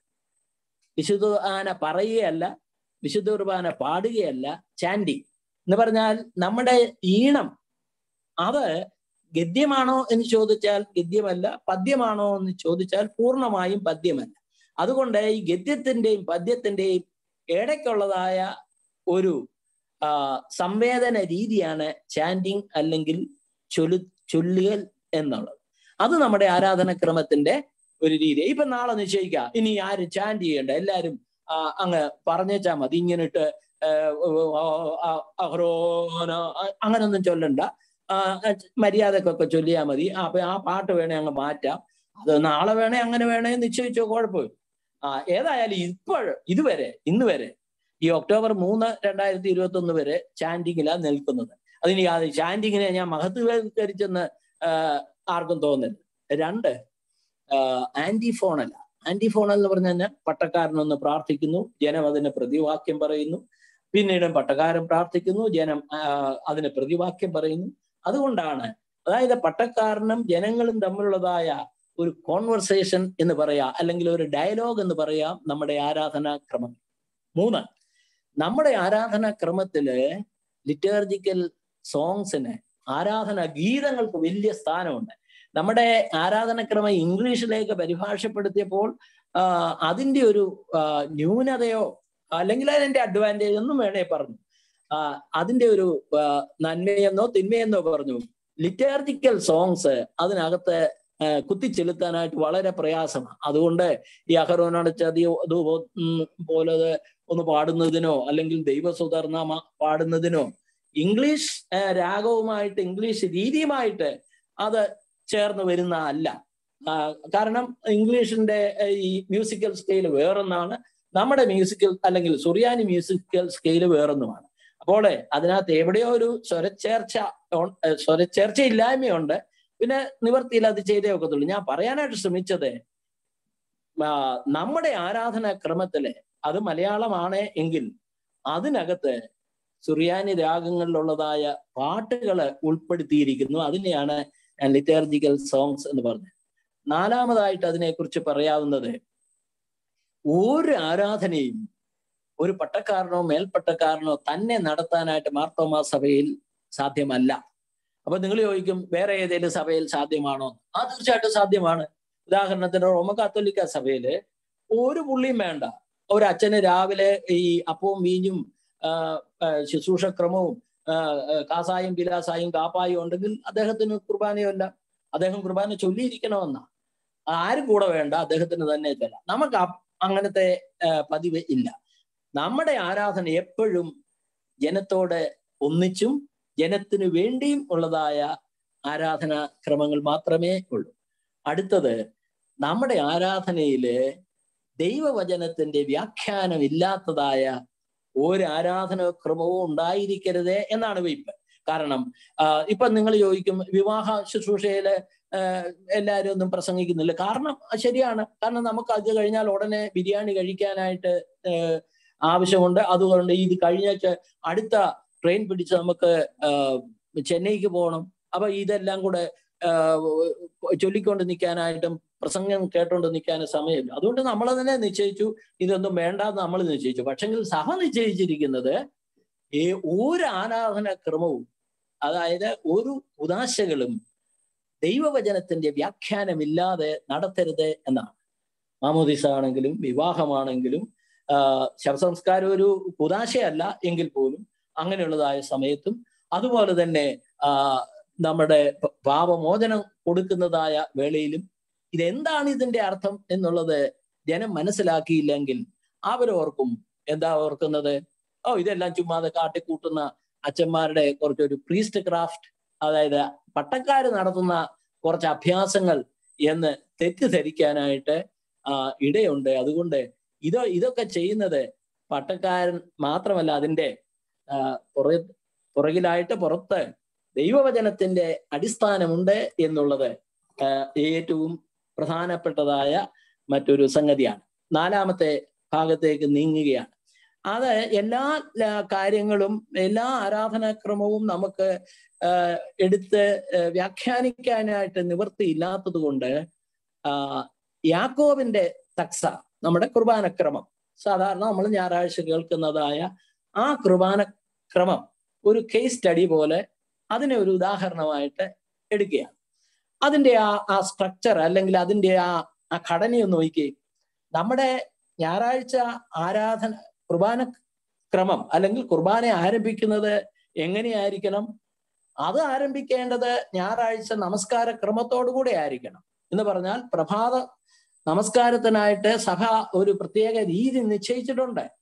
ആ ആരാധന നടത്തിയിട്ട് വേണം വിശുദ്ധ കുർബാന അനുഷ്ഠിക്കാൻ പക്ഷെ ഈ പറഞ്ഞതുപോലെ നമുക്ക് അത് കഴിഞ്ഞാൽ ഉടനെ കമ്മിറ്റി മീറ്റിംഗ് വരും. അത് കഴിഞ്ഞാൽ ഉടനെ ഒരു അഭിനന്ദന യോഗം വരും. അത് കഴിഞ്ഞാൽ ഉടനെ നമുക്ക് ഉച്ച കഴിഞ്ഞിട്ട് നമുക്ക് തിരുവനന്തപുരത്ത് നിന്ന് കോട്ടയത്തിന് പോകാനുള്ള അത്യാവശ്യമുണ്ട്. ഈ കാരണങ്ങളാൽ നമുക്ക് മാറ്റി വെക്കാവുന്നത് ഏതാണ്? നമസ്കാരക്രമം. അതുകൊണ്ട് നമ്മളെല്ലാം കൂടെ നിശ്ചയിച്ചു നമസ്കാരക്രമം വേണ്ട. അതുകൊണ്ട് നമസ്കാരക്രമം മിക്കവാറും പള്ളികളിൽ ഇപ്പൊ ഇല്ല. അത് ഇതിന്റെ അപകടം എന്താണെന്ന് അറിയാമോ ഈ പ്രാർത്ഥനകളും പ്രാർ പാട്ടുകളുമായിട്ട് ജനങ്ങൾക്കുള്ളതായ ആ സാമീപ്യം ഇല്ലാതെയായി തീരുകയും ഇത് ഏതോ ഒരു അന്യഗ്രഹ വസ്തുവാണ് എന്ന് വിചാരിച്ച് കുറച്ച് കഴിയുമ്പോൾ നമ്മൾ ഈ പുസ്തകങ്ങളും ഈ പ്രാർത്ഥനകളും ഒക്കെ എടുത്തു കളി അത് സംഭവിക്കുമായിരിക്കാം.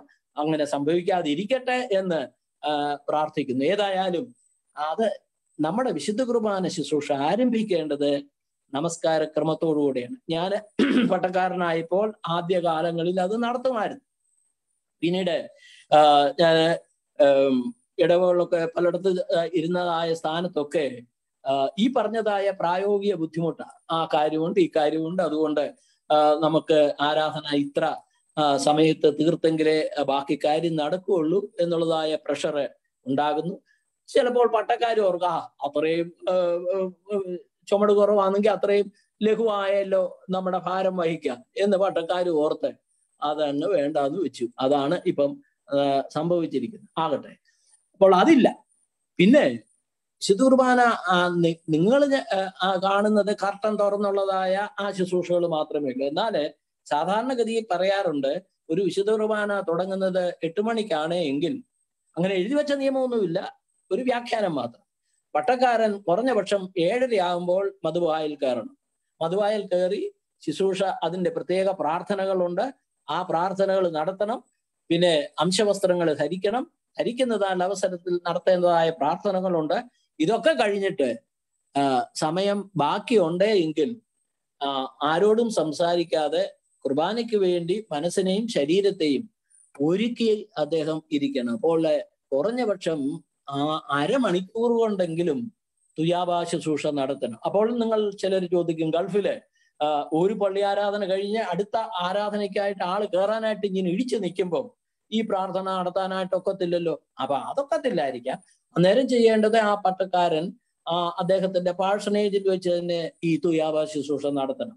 അംശവസ്ത്രമൊക്കെ പള്ളിയിൽ ചെന്നിട്ട് ഇടാനൊക്കത്തുള്ളൂ. പക്ഷേ പ്രാർത്ഥന അങ്ങ് അതിന്റെ സൗകര്യപ്രദമായ സമയത്തും സ്ഥാനത്തും നടത്തണം അതായത് ഒരു പട്ടക്കാരൻ വിശുദ്ധ കുർബാന അനുഷ്ഠിക്കുന്നുണ്ടെങ്കിൽ തുയാബ ഇല്ലാതെ അതായത് പട്ടക്കാരന്റെ ഒരുക്കമില്ലാതെ അതൊരിക്കലും നടത്താനായിട്ട് സാധ്യമല്ല. അതായത് കൊതുകിന് മരുന്നടിക്കാനായിട്ട് മുനിസിപ്പാലിറ്റി ഇന്ന് വരുന്നവൻ അവന് പ്രത്യേക ഒരുക്കൊന്നും വേണ്ട. അതെ അതിന്റെ ആ നോസിലെ പിടിച്ച് ഞെക്കിയാൽ മതി. അത് ഷൂ എന്നും പറഞ്ഞ് അതുപോലല്ല ഈ പട്ടക്കാരന്റെ ഈ വിശുദ്ധ കുർബാന ശുശ്രൂഷ. ഒരുക്കമില്ല ഒരുക്കമില്ലാതെ വിശുദ്ധ കുർബാന ശുശ്രൂഷ അനുഷ്ഠിക്കാനായിട്ട് സഭ ഒരിക്കലും പറയുന്നില്ല. ഒരുക്കത്തോടുകൂടെ മാത്രമേ ആ തുയാബ എന്നുള്ള വാക്കിന്റെ തന്നെ ഒരുങ്ങുക എന്നതാണ്. ഓക്കെ. അപ്പോൾ നമ്മുടെ വിശുദ്ധ കുർബാന ശുശ്രൂഷ ആരംഭിച്ചു കഴിഞ്ഞാൽ അതിന് പ്രധാനമായി രണ്ട് ഭാഗങ്ങളുണ്ട്. അതിന്റെ ആദ്യത്തെ ഭാഗത്തെ വിളിക്കുന്നത് പ്രീ അനഫോറ എന്നും രണ്ടാമത്തെ ഭാഗത്തെ അനോഫോറ എന്നും വിളിക്കുന്നു. സമയം അതിക്രമിക്കുന്നതുകൊണ്ട് ഞാൻ ഇനിയും സ്പീഡിൽ മുന്നോട്ട് പോവുകയാണ്. അപ്പോൾ ഈ പ്രീ അനോഫോറ അനോഫോറയ്ക്ക് മുൻപുള്ളതായ ഭാഗം. അനോഫോറ എന്ന് പറഞ്ഞാൽ ടു ലിഫ്റ്റ് അപ്പ് എന്ന ഉയർത്തുക എന്ന. അതായത് വിശുദ്ധ വസ്തുക്കളെയും ഈ ആരാധിക്കുന്ന സമൂഹത്തെയും ആരാധന സമൂഹത്തെയും ദൈവകരങ്ങളിൽ ദൈവസന്നിധിയിലേക്ക് ഉയർത്തുന്നു എന്ന് സൂചിപ്പിക്കുന്ന വാക്കാണ് അനോഫോറ. അപ്പോൾ പ്രീ അനോഫോറ അനോഫോറ എന്താണെന്ന് പറയാം. അനോഫോറയ്ക്ക് മുമ്പുള്ളതായ കാര്യങ്ങൾ. അതിനെ നമുക്ക് വിളിക്കാം. ലിറ്റർജി ഓഫ് ദ വേർഡ് ദൈവവചനത്തിന്റെ ആരാധനക്രമം. ഒന്നാം പാഠം വായിക്കുന്നു രണ്ടാം പാഠം വായിക്കുന്നു സ്ലീഹ വായിക്കുന്നു ഏവെങ്കേലിയൻ വായിക്കുന്നു അത് വ്യാഖ്യാനിക്കുന്നു. ദിസ് ഇസ് ദ ഒന്നാമത്തെ ഭാഗം. This is the liturgy of the word of God അതായത് ദൈവവചനത്തിന്റെ വ്യാ വായനയും വ്യാഖ്യാനവും ഇല്ലാതെ നമുക്ക് ആരാധന ഇല്ല. അത് നമ്മുടെ വിശുദ്ധ കുർബാന ശുശ്രൂഷയിലെ ലബ്ധ പ്ര- പ്രതിഷ്ഠ നേടി നേടിയിരിക്കുന്നു. അത് അവിടെ അരക്കെട്ട് ഉറപ്പിച്ചിരിക്കുന്നു എന്നുള്ളത് പറയാനായിട്ട് സൂചിപ്പിച്ചു എന്ന് മാത്രം. അതിനുശേഷമാണ് പ്രെയർ ഓഫ് കൺഫെഷൻ നമ്മുടെ കുംഭസാര പ്രാർത്ഥന. നമ്മുടെ കുംഭസാര പ്രാർത്ഥന പലപ്പോഴും എനിക്ക് അടുത്തറിയാവുന്നവരും അല്ലാത്തവരും ഒക്കെ പറഞ്ഞിട്ടുണ്ട് എന്തോ ഈ കുംഭസാര പ്രാർത്ഥന? അതായത് അച്ഛൻ ചൊല്ലി തരുന്നു. ഞങ്ങൾ ഈ തത്ത ചൊല്ലുന്നത് പോലെ അർത്ഥമില്ലാതെ ഞങ്ങളും അത് ചൊല്ലുന്നു. ചൊല്ലി എന്നുള്ളതായ സമാധാനം. അങ്ങനെയല്ല. അതായത് നമ്മുടെ ഈ കുംഭസാര പ്രാർത്ഥന ആരെഴുതി എങ്ങനെ ഉണ്ടാക്കി? അത് ഏബ്രാം അൽപ്പാനും കൂട്ടരും ഒന്നും എഴുതിയതൊന്നുമല്ല. അല്ലെങ്കിൽ മർത്തോമക്കാര് നമ്മൾ വലിയ പുള്ളികൾ ആരും എഴുതിയല്ല ഇത് സഭയുടെ പ്രാർത്ഥനയാ. എങ്ങനെ കിട്ടി? എല്ലാ ദിവസവും സൂത്താറ പ്രാർത്ഥന. അതായത് ഒൻപത് മണിക്ക് ശേഷമുള്ളതായ ആ പ്രാർത്ഥനയ്ക്കാണ് സൂത്താറ പ്രാർത്ഥന എന്ന് പറഞ്ഞാൽ ഉറങ്ങുന്നതിന് മുൻപുള്ളതായ പ്രാർത്ഥന. ശയന നമസ്കാരം. അപ്പൊ ആ ശയന നമസ്കാരത്തുള്ള പ്രാർത്ഥനകളിലെ വാചകങ്ങൾ ഒന്നിപ്പിച്ച് രൂപീകരിച്ച് എടുത്തതാണ് നമ്മുടെ കുംഭസാര പ്രാർത്ഥന. അതിന്റെ അർത്ഥം എന്താണ്? തിങ്കൾ മുതൽ ശനി വരെ ഒരുത്തൻ വീട്ടിൽ പ്രാർത്ഥിക്കുന്ന പ്രാർത്ഥനയുടെ സംഗ്രഹമാണ് കുംഭസാര പ്രാർത്ഥന. അല്ലാതെ നമ്മൾ ആ അവിടെ പള്ളിയിലോട്ട് ചെന്ന ശേഷം ഈ നെല്ലിക്ക ചാക്കിന്റെ കെട്ട് അഴിച്ചിടുന്ന പോലെ അങ്ങോട്ട് അഴിച്ചിടുന്ന ഒരു സാധനമല്ല കുംഭസാര പ്രാർത്ഥന.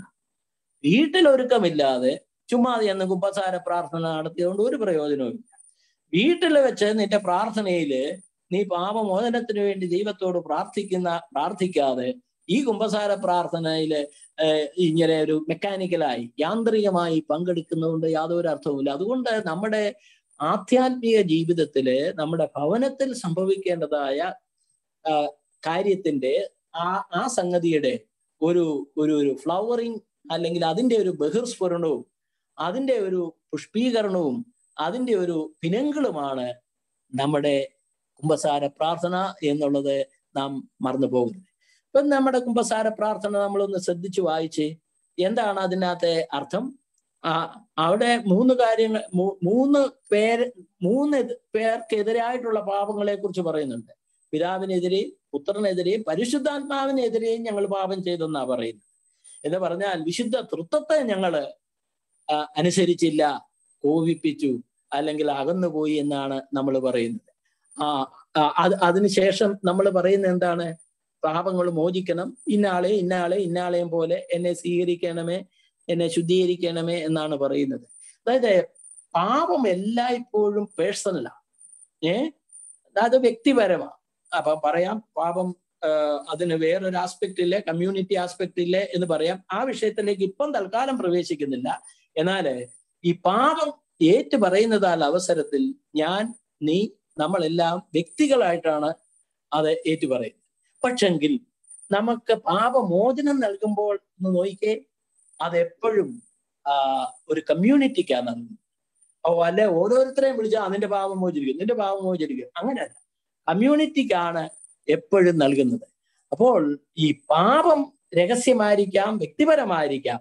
എന്നാൽ ദൈവം നൽകുന്നതായ പാപമോചനം അതൊരിക്കലും വ്യക്തിപരം മാത്രമല്ല അത് കമ്മ്യൂണൽ എന്ന് പറഞ്ഞാൽ ഒരു വിശ്വാസ സമൂഹത്തിന് ആകമാനം നൽകുന്നതാണ് എന്നത് നാം ഒരിക്കലും മറന്നു പോകരുത് ഇനി ഇതിന് ശേഷമാണ് അനോഫാറയിലേക്ക് പ്രവേശിക്കുന്നത്. അനോഫോറ അല്ലെങ്കിൽ ഞാൻ പറഞ്ഞല്ലോ ടു ലിഫ്റ്റ് അപ്പ് വിശുദ്ധ വസ്തുക്കളെയും വിശുദ്ധ ജനത്തെയും ഉയർത്തുകയാണ്. അപ്പോൾ എന്താണ് ഇവിടെ സംഭവിക്കുന്നത്?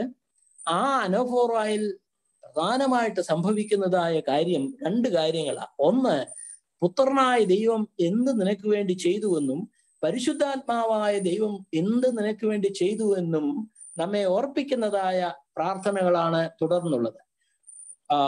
കുറച്ചുകൂടെ വ്യക്തമായി പറഞ്ഞാൽ യേശു ക്രിസ്തുവിന്റെ തിരുജനനം യേശു ക്രിസ്തു ലോകത്തിൽ ചെയ്തതായ കാര്യങ്ങൾ ഏറ്റവും അതിന്റെ മകുട ഉദ മകുടമായി പറയുന്നു വേർഡ്സ് ഓഫ് ഇൻസ്റ്റിറ്റ്യൂഷൻ അതായത് കർത്താവ് അപ്പത്തെ കയ്യിലെടുത്ത് വാഴ്ത്തി എന്ന് പറയുന്നതായ സ്ഥാപന വാചകങ്ങൾ.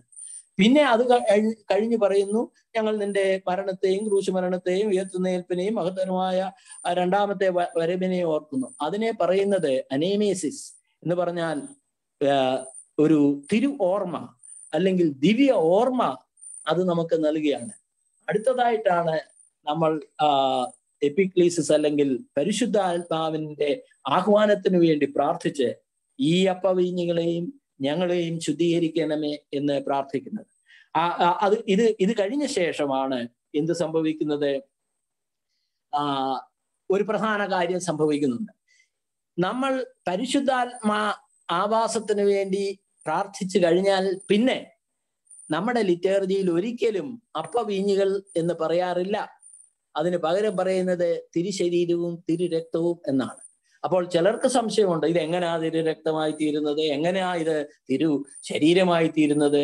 ഇത് മറ്റേ ബേക്കറിയിൽ ഇരുന്ന ബ്രെഡും ഇതും തമ്മിൽ എന്താ വ്യത്യാസം? ചിലർ പറയും യാതൊരു വ്യത്യാസവും ഇല്ല. ആ ബ്രെഡും ഈ ബ്രെഡും എല്ലാം ഒരുപോലാണ്. അങ്ങനെ പറയുന്നവർ പറഞ്ഞോട്ടെ ഏതായാലും ഞാൻ ലിറ്റേർജിയെ അടിസ്ഥാനമാക്കി പറയുന്നു അതെങ്ങനെയാണ് ആയിത്തീരുന്നതെന്നൊക്കെ ചോദിച്ചാൽ എനിക്കറിയത്തില്ല. അത് ബൗദ്ധികമായി എക്സ്പ്ര വിവരിക്കാനായിട്ട് എനിക്ക് സാധ്യമല്ല. പക്ഷെങ്കിൽ ഒരു പൊട്ടനെ പോലെ ഞാൻ വിശ്വസിക്കുന്നു. അത് കർത്താവിന്റെ തിരുശരീരവും തിരുരക്തമാണ് അത് ബൗദ്ധികമായിട്ട് എനിക്ക് വിവരിച്ചു തരാൻ പാടില്ലാത്തത് കൊണ്ട് ഞാൻ അതിനെ വിളിക്കും. അല്ലെങ്കിൽ നമുക്കതിനെ വിളിക്കാം. ഇതൊരു മർമ്മമാണ് എന്നത്. ആ അതിന്റെ വിശദാംശങ്ങൾ ഒന്നും പറയാനായിട്ട് ഇപ്പം സമയമില്ല. അതുകൊണ്ട് സമയമൊക്കെ എനിക്ക് അനുവദിച്ച സമയമൊക്കെ ഏതാണ്ടൊക്കെ അവസാനിക്കാറായി. അതിനുശേഷമാണ് തുബദേൻ ദ ഗ്രേറ്റ് ഇന്റർസെഷൻ അപ്പോൾ ആ ഗ്രേറ്റ് ഇന്റർസെഷനിൽ നോക്കിയേ നമ്മൾ ആർക്കു വേണ്ടിയൊക്കെയാ പ്രാർത്ഥിക്കുന്നത്? ആ എപ്പോഴും മധ്യസ്ഥ പ്രാർത്ഥനയാ. മധ്യസ്ഥ പ്രാർത്ഥന മറ്റുള്ളവർക്ക് വേണ്ടിയാ. ആറ് മധ്യസ്ഥ പ്രാർത്ഥനകൾ ഉള്ളത് ഉള്ളതിൽ ആദ്യത്തെ മൂന്നെണ്ണം ജീവിച്ചിരിക്കുന്നവരെയും പിന്നീടുള്ള മൂന്നെണ്ണം കർത്താവിൽ നിദ്ര പ്രാപിച്ചവരെയും വിശ്വാസം സംരക്ഷിച്ചവരുമായ പൂർവ മാതാപിതാക്കന്മാരെയും നാം ഓർക്കുന്നു. അപ്പോൾ മാർത്തോമാ സഭ മരിച്ചവരെ ഓർക്കുന്നുണ്ടോ എന്ന് ചോദിച്ചാൽ തീർച്ചയായിട്ടും ഓർക്കുന്നുണ്ട്. അവരെ നമ്മുടെ അത് ദൈവസുധർ നാം ആയിടുവാൻ ജീവികളായി നടന്നപ്പോൾ എന്ന് പറയുന്ന പാട്ട് തന്നെ. അതുപോലെ തന്നെ ആ അർത്ഥം വരുന്നതായ വാചകങ്ങളും ഉണ്ട്. എന്നാൽ ഒരിക്കലും മാർത്തോമാ സഭ മരിച്ചവർക്ക് വേണ്ടി പ്രാർത്ഥിക്കുന്നില്ല. മരിച്ചവർക്ക് വേണ്ടി പ്രാർത്ഥിക്കുന്നില്ല എന്ന് പറഞ്ഞതിന്റെ അർത്ഥം വിശ്വ വിശുദ്ധന്മാരുടെയും വിശുദ്ധമതികളുടെയും മധ്യസ്ഥതയോടുകൂടെ വേണം ഇവർ ദൈവസന്നിധിയിൽ ചെല്ലേണ്ടത് എന്നുള്ളതാ ആ ഒരു വ്യാഖ്യാനവും പ്രാർത്ഥനയും നമുക്കില്ല. എന്നാൽ പിൻതലമുറയെ കഴിഞ്ഞു പോയ തലമുറയെ ഓർത്ത് ദൈവത്തെ നാം സ്തുതിക്കുന്നുണ്ട്. മരണാനന്തര ജീവിതത്തെക്കുറിച്ചുള്ള പ്രത്യാശയെ നാം അരക്കിട്ട് ഉറപ്പിക്കുന്നുണ്ട്. ആ വിധത്തിൽ വേണം അതിനെ കാണാൻ. അതുകൊണ്ട് ആദ്യത്തെ മൂന്ന് പ്രാർത്ഥനകൾ ഈ ലോകത്തിൽ ജീവിച്ചിരിക്കുന്നവരെ കുറിച്ചും മറ്റ് മൂന്ന് പ്രാർത്ഥനകൾ.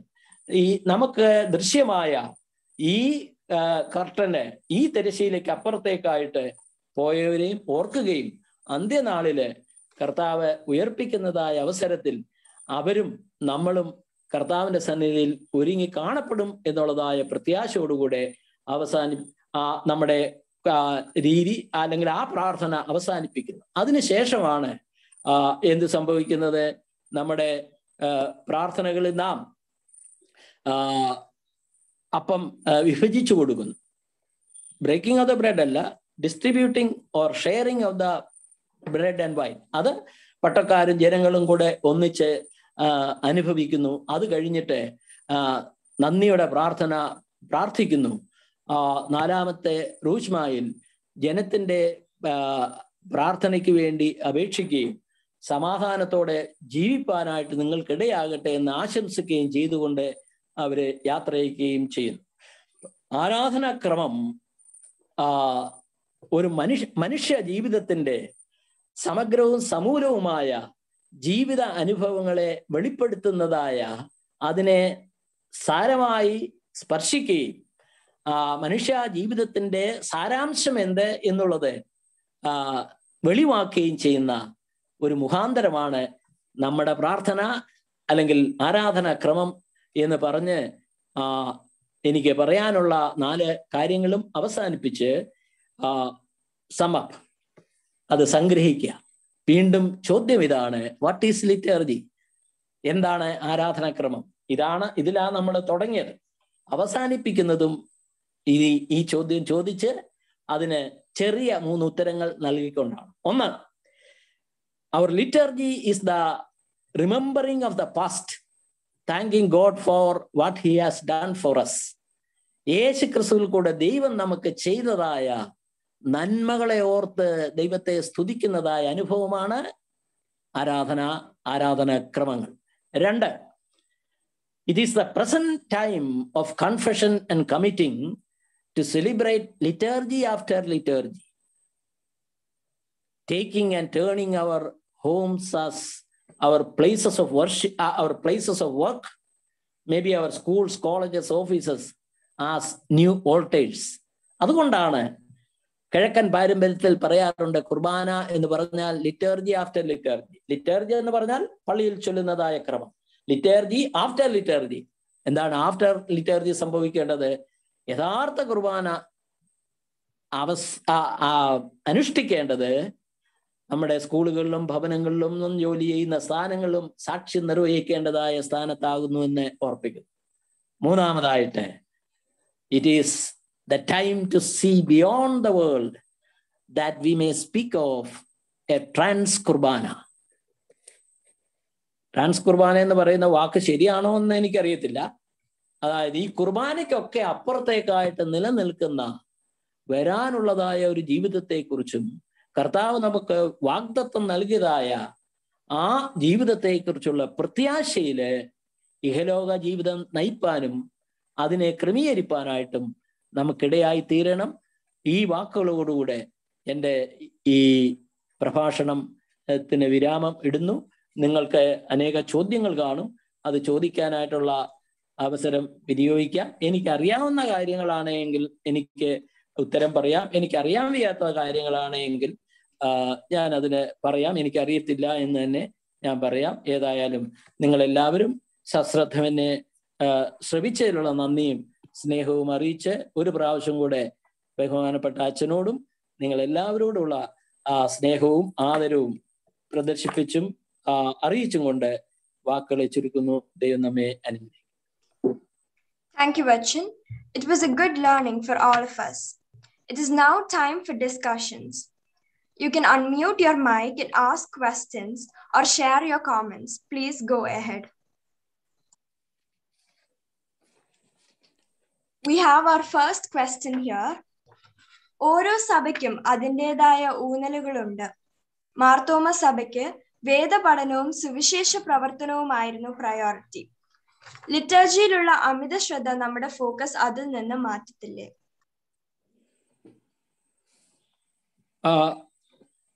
അച്ഛാ ഓരോ ചോദ്യത്തിന് ഉത്തരം പറഞ്ഞു പോകുന്നതാണോ സ്ട്രാറ്റജി? എങ്ങനെയാണ് ഒന്ന് പറയണം? അച്ഛന്റെ ഏതാണ് നല്ലതെന്ന് യു ക്യാൻ ചൂസ് അച്ഛൻ. ആ ഓക്കെ എനിക്ക് സൗകര്യം ഓരോന്നിന് തന്നെ ഉത്തരം പറഞ്ഞു പോകുന്ന അതാ. അതായത് നമ്മുടെ സഭയ്ക്ക് വേദപുസ്തക വേദപുസ്തക പഠനവും അതുപോലെ തന്നെ സുവിശേഷ പ്രവർത്തനവുമായിരുന്നു പ്രാധാന്യം. എന്നാൽ എന്നാൽ ഇപ്പോൾ ഒരു ലിറ്റാർജിക്ക് അല്ലെങ്കിൽ ആരാധനാക്രമത്തിന് ആ, ഒരു അമിത പ്രാധാന്യം നൽകുന്നതായിട്ട് കാണുന്നു. ഇത് ശരിയായ പ്രവണതയാണോ എന്നാണ് ആ മാന്യ ചോദ്യകർത്താവ് ചോദിച്ചതായിട്ട് എനിക്ക് മനസ്സിലാകും. അത് ഒരിക്കലും ശരിയായ ഒരു നിരീക്ഷണമാണ് എന്ന് എനിക്ക് തോന്നുന്നില്ല. മാർത്തോമാ സഭയുടെ പ്രത്യേകത എന്ന് പറഞ്ഞാൽ അത് ആരാധനാക്രമങ്ങളെ വളരെ സീരിയസ് ആയിട്ട് എടുക്കുകയും അതേസമയം ആരാധനാക്രമത്തിൽ കൂടെയുള്ളതായ ദർശനത്തിൽ നിന്ന് സുവിശേഷ വേലയെക്കുറിച്ചും അതുപോലെ തന്നെ വേദപുസ്തക പഠനത്തെക്കുറിച്ചും ഉൾക്കാഴ്ച ഉൾക്കൊണ്ട് മുന്നോട്ട് പോകുന്നതായ കാര്യമാണ്. അപ്പോൾ ആ ചോദ്യത്തിന്റെ ഒരു പിന്നാമ്പുറം നോക്കുകയാണ് എങ്കിൽ ഈ അടുത്ത സമയത്താണല്ലോ ഈ കാര്യങ്ങളൊക്കെ കൂടുതൽ എംഫസൈസ് ചെയ്യുന്നത്. ഈ ഉദാഹരണത്തിന് ഒരു ഒരു വർഷം പറയാമെങ്കിൽ ആയിരത്തി തൊള്ളായിരത്തി തൊണ്ണൂറിന് ശേഷമാണല്ലോ അതിനു മുൻപ് ഇത്രയും പ്രാധാന്യമൊന്നും ഇല്ലായിരുന്നു. ഇത് സഭ പഠിപ്പിക്കേണ്ടായിരുന്നു. പഠിപ്പിച്ചില്ല. അതാ കുഴപ്പം പറ്റിയത്. ആ പ്രത്യേകിച്ച് ഈ നവീകരണത്തിന്റെ ആ തിരത്തള്ളൽ വന്നതായ അവസരത്തിൽ അറിഞ്ഞോ അറിയാതെയോ ഇങ്ങനെയുള്ളതായ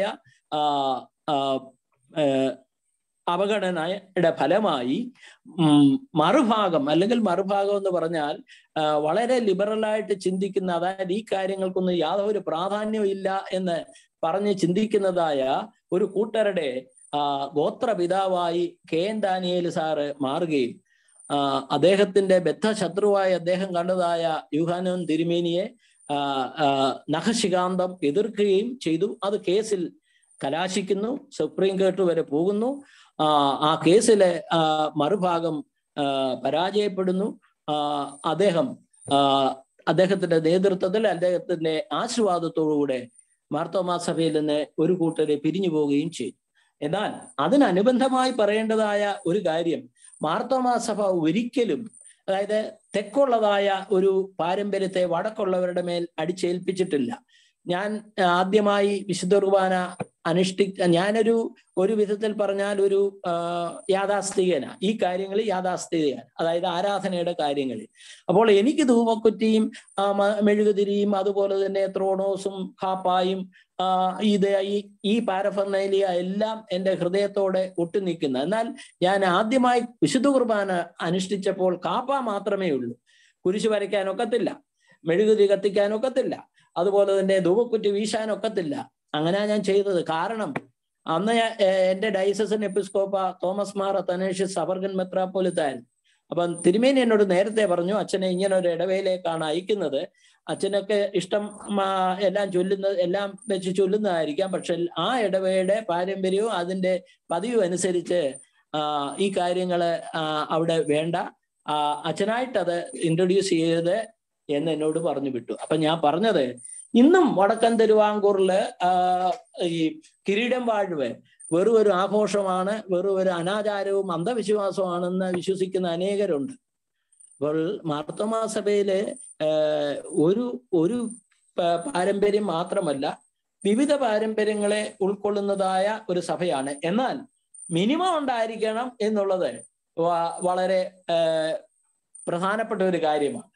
അതായത് പള്ളി കൂതാശ ചെയ്യേണ്ട എന്ന് പറഞ്ഞ് ഇത് ഇപ്പോൾ വരെ ഇന്ന് വരെ പള്ളി കൂതാശ ചെയ്യാത്തതായ ഒരു ഒരു പള്ളി അവിടെ ആരാധനയൊക്കെ നടക്കുന്നുണ്ട്. ചെയ്യാത്ത ഒരു പള്ളി മാർത്തോമാ സഭയിലുണ്ട്. പേര് ഇങ്ങനെ ഒരു ഓപ്പൺ ഡിസ്കഷനിൽ പറയുന്നത് ശരിയല്ല. അതുകൊണ്ട് ഞാൻ ആരും ചോദിക്കേരുത്. അത് ഞാൻ പറയത്തുമില്ല. എനിക്കറിയാം.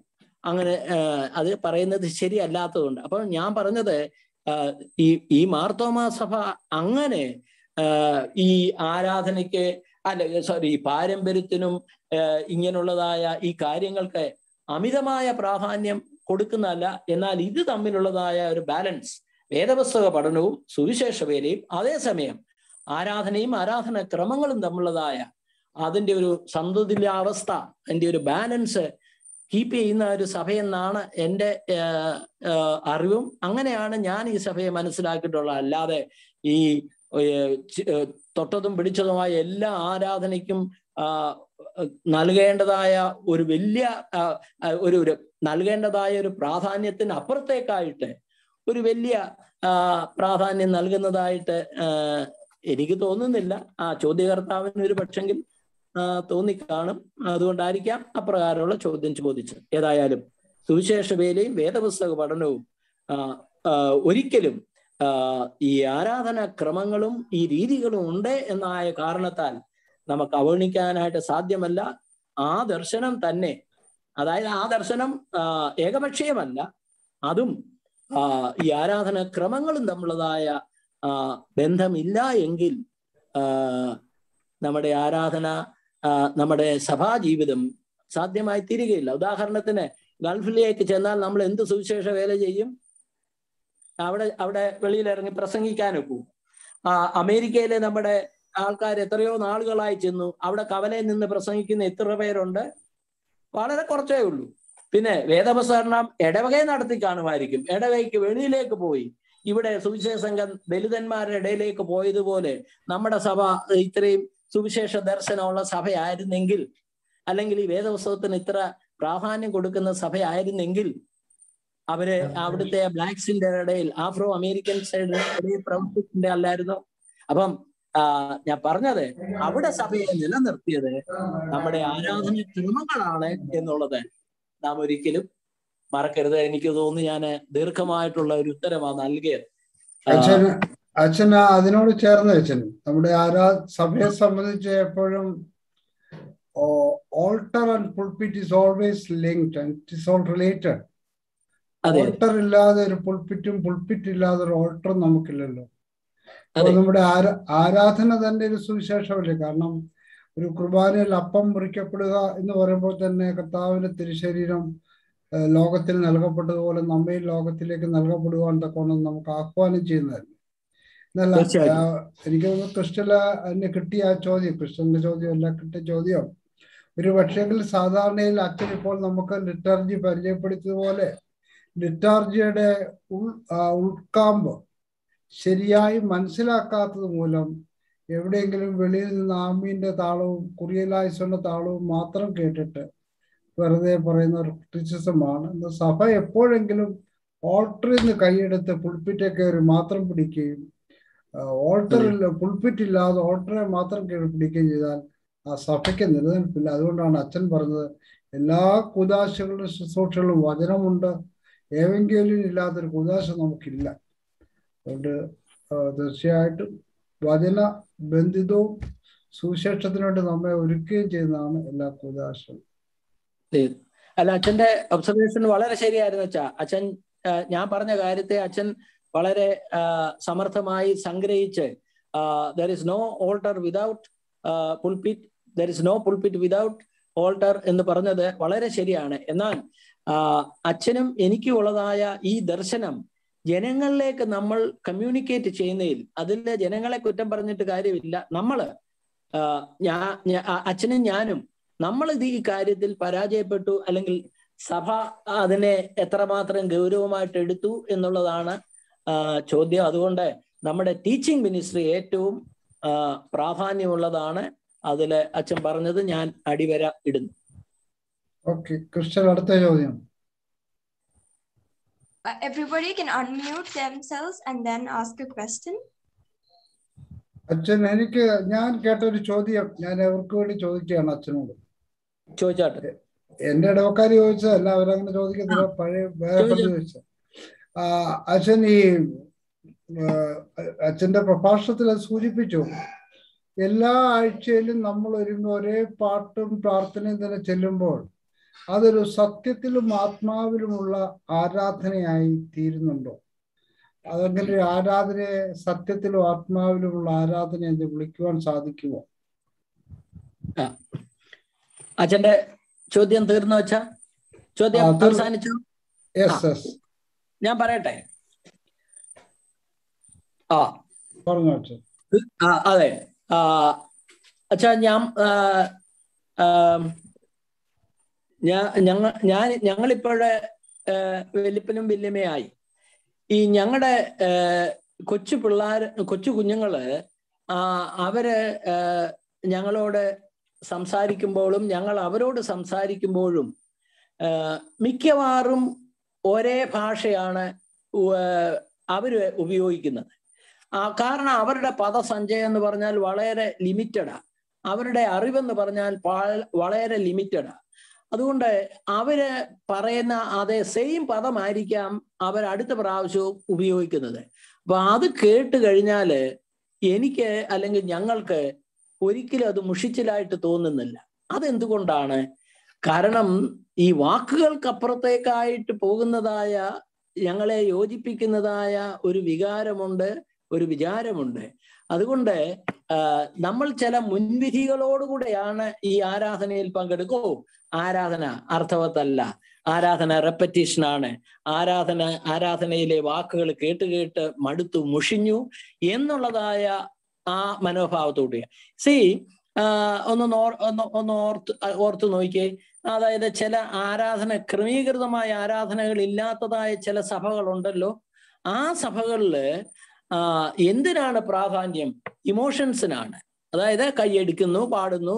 അവർ അവരെ ഒരു അഞ്ഞൂറ് പ്രാവശ്യം ഒരു ഒരു കൂട്ട ഒരു ഒരേ കൂട്ടരെ. അഞ്ഞൂറ് പ്രാവശ്യം അമ്മ ആമേൻ പറയും ഹല്ലേലൂയ പറയും. അപ്പൊ നമുക്ക് ഒരു ഒരു ഒരു ഒരു നമ്മുടെ ഉള്ളിൽ അട അടക്കി വെച്ചിരിക്കുന്ന അടച്ചു വെച്ചിരിക്കുന്ന വികാരങ്ങൾക്ക് ഒരു ഒരു ഓവർഫ്ലോ ലഭിക്കുന്നു. അത് ശരിയാണ്. പക്ഷെങ്കിൽ ഈ ആരാധന എന്ന് പറഞ്ഞാൽ കേവലം വികാരപ്രകടനങ്ങൾ വികാര പ്രകടനങ്ങൾ മാത്രമല്ല. എന്നാൽ നമ്മുടെ ആരാധന നോക്കിക്കേ എന്നും കുന്നും ഒരേ ഒരേ പാട്ടല്ലല്ലോ നമ്മൾ പാടുന്നത്. നമ്മൾ പാടുന്നതായുള്ള അവസ അതായത് ക്രിസ്തീയ കീർത്തനങ്ങൾ. പാടുന്ന സമയത്തിലെ അതിനകത്ത് വെറൈറ്റി ഇല്ലേ? അതുപോലെ തന്നെ നമ്മൾ കേൾക്കുന്നതായ പ്രസംഗം. ഒരേ പ്രസംഗമാണോ? അതല്ല. എന്നാൽ മറ്റു പ്രാർത്ഥനകൾ തീർച്ചയായിട്ടും ഒരേ പ്രാർത്ഥനകൾ തന്നെയാണ് യാതൊരു സംശയവുമില്ല. എന്നാൽ ആ പ്രാ അങ്ങനെ പ്രാർത്ഥനകൾ ഇല്ല അങ്ങനത്തെ ഒരു ക്രമീകൃതമായ രൂപം ഇല്ല എങ്കിൽ സംഭവിക്കുന്ന എന്താണ്? ഈ മാർത്തമാ സഭ അല്ലെങ്കിൽ ഏതെങ്കിലും സഭയാകട്ടെ.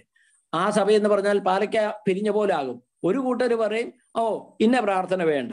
വേറൊരു കൂട്ടർ പറയും ഇന്ന പ്രാർത്ഥന ഞങ്ങൾക്ക് ഇഷ്ടമല്ല. ഇന്ന വേറൊരു കൂട്ടർ ചെല്ലുന്നതായുള്ള അവസരത്തിൽ അവർ പറയും അങ്ങനെ അല്ല വേണ്ടിയത്. അതായത് ഇപ്പൊ നമ്മുടെ ഗൾഫ് ഇടവക തന്നെ എടുക്കുക.